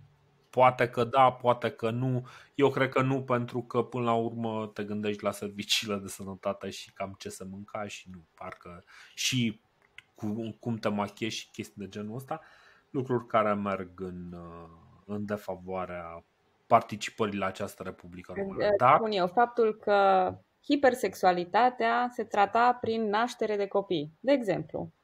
Da, da, exact, exact. Și uh, da, lucrurile sunt, uh, sunt un pic mai complicate și cred că înainte să aruncăm fie acuze, fie suspiciuni, fie orice altă lucru, trebuie să ne uităm la întreaga societate pe de-a întregul, să vedem exact, ok, poate că e ceva mai adânc, mai mare aici. Mm. Um, oricum am dau și oricum am întoarce-o, uh, să știi că și, na, și după citatele astea și după tot ce am discutat, bă, oricum am, oricum am luat-o în societățile astea, uh, civilizate, așa zis civilizate din antichitate, uh, femeia avea un statut inferior bărbatului. Oricum, deci misoginismul ăsta da. care caracterizează până la urmă societatea romană, o să vedem, dacă facem un arc peste timp, o să îl găsim o să găsim și la Eminescu în secolul XIX și o să-l găsim și în anul 2000, și în anul 2010, și în anul 2020. E greu să scap de el. E acolo, e în mintea ta undeva, chiar dacă tu declarativ și chiar dacă există, măcar există ideea unei superiorități la un anumit nivel pe care bărbatul crede că o are față de femeie. Eu, de sinea mea, sunt mai direct și mai sincer. Și eu s-ar putea să o mai resimt din când în când. Nu este deloc un lucru nobil, uh, dar există, uite, și Eminescu, da, cu Dalila, cu părul, cu, adică simțim uneori, uneori nevoia, poate uh, din niște cauze personale, să judecăm, să generalizăm. Generalizarea e o prostie. Poftim? Poftim? Iar noi vă lăsăm să faceți asta și să credeți lucrurile astea. E perfect. Exact, exact. Da, e minunat. Asta spun. Băi, mie mi-a plăcut. Mie mi-a plăcut foarte mult dialogul ca să închem, ca să, nu știu, eu cel puțin încheierea mea așa într-o notă optimistă. Uh, tot așa, am un citat de la Ovidiu care se tot plângea și apropo, Ovidiu o să o folosească pe soția lui drept pavăză pentru a obține uh, redemption-ul de la, de la Octavian. El o să se tot plângă. Da, nu o să-i placă Tomisus spre deosebire lui Tito, care o să se simtă foarte bine la Masilia. O să se plângă de tărâmurile noastre, o să ne facă barbar, necivilizat, știți, în toate felurile. O să povestim despre asta și spune, uh, la final spune că femeia este o dulce otravă, da? Dulce puella malum est. Da. Uh, Călina, mulțumim mult că ai venit uh, să, ne, să, să, să discuți cu noi despre subiectul ăsta. Eu vă mulțumesc uh, că m-ați primit. Nu uitați. O să te mai invităm, să știi că o să te mai invităm. Da. da și mai vin, și mai vin. Uh, nu uitați că săptămâna aceasta, cel mai probabil, săptămâna viitoare, se va, va apărea un episod nou și din istoria României și sper că veți fi și voi cu urechile lipite de de telefon sau de, uh, de internet unde le ascultați și uh, vă aștept uh, și pe voi la o poveste despre Mircea cel bătrân. Eu sunt un pic și marele da. Este sunt un pic am trecut de, de partea cu femeile influente în, în Roma și uh, aștept, uh, aștept și feedback-ul vostru, aștept să văd dacă oamenilor le-a plăcut acest episod.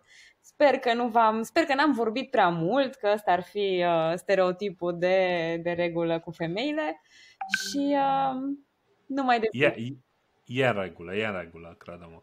Uh, eu mai am câteva lucruri de zis. Uh, Sergiu, dacă mai ai tu? Nu, bă, eu vreau să, vreau să spun că îmi place foarte mult stilul ăsta hazliu și colocvial al Călinei de a identifica personajele astea istorice. Eu mai vorbesc cu ea și, bă, mai zicem un Fane Babane, un Mateiaș Corvinaș, adică uh, e prima oară când aud referințele astea la, la Octavian și la Marcus Antonius, gen uh, Tony și Tavi, știi? Tony și Alex. Era și o melodie de la BG Mafia cu doi frați și cu nu știu ce. Tony și Alex, da. Asta spun. Deci e foarte, foarte fain și e foarte sănătos, credeți-mă, să ne raportăm mult mai uman, mult mai psihologic și să ieșim din, din toate matrițele astea prin care credem noi că înțelegem istoria numai la nivel uh, instituțional. Femeile uh, ne, ne demonstrează că 70-80% din istorie s-a scris în spatele ușilor închise și cu jocuri Correct. de culise și jocuri de palat și așa mai departe. Corect. Uh, și uh, da, deci ca să continui ce ai spus tu, și oamenii mari sunt tot oameni. Uh, eu o să mai am o încheiere, noi o să facem o pauză. Din punctul meu de vedere, am putea să spunem că acum se încheie sezonul 1 al uh, podcastului de istorie. Uh, o să facem o pauză pentru că în perioada care urmează, mie personal îmi va fi destul de dificil să uh, să mă mai dedic uh, podcastului pentru următoarele, următoarea lună, dar poate mai mult, o lună și jumătate, două luni. Ah, perfect. Deci Dar... Deci facem podcastul de istorie cu Călina de acum. E minunat. Exact, exact.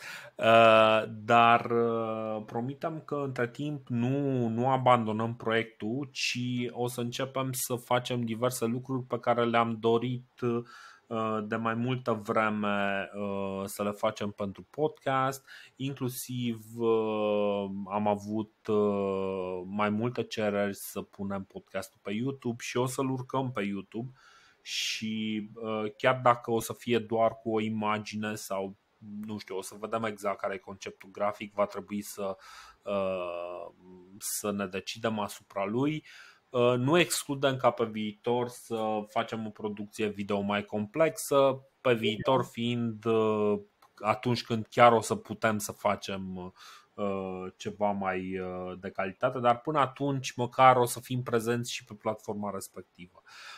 Ce vreau să spun este că chiar dacă noi o să facem o pauză un pic mai lungă, putem să zicem că Uh, da, o să fie o pauză un pic mai lungă, dar uh, da, tocmai am trecut de la înaintea erei noastre la era noastră, deci se justifică, e ok.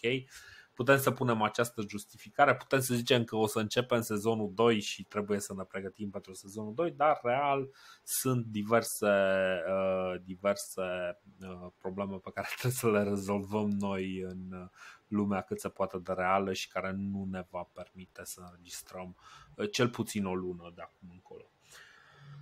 Uh, bun, mulțumim mult că ați avut răbdare cu noi două ore și jumătate, dar mai ales mulțumesc Călinei că a avut răbdare cu noi două ore și jumătate, că asta este cel mai dificil, să ne convingem ca, uh, invitatul să nu fugă. Și uh, da, ne auzim cât de curând. Uh, nu vă supărați pe noi dacă nu o să fie foarte curând, dar uh, cât de curând vom putea. Mulțumim! Ciao! Ciao! Salutare!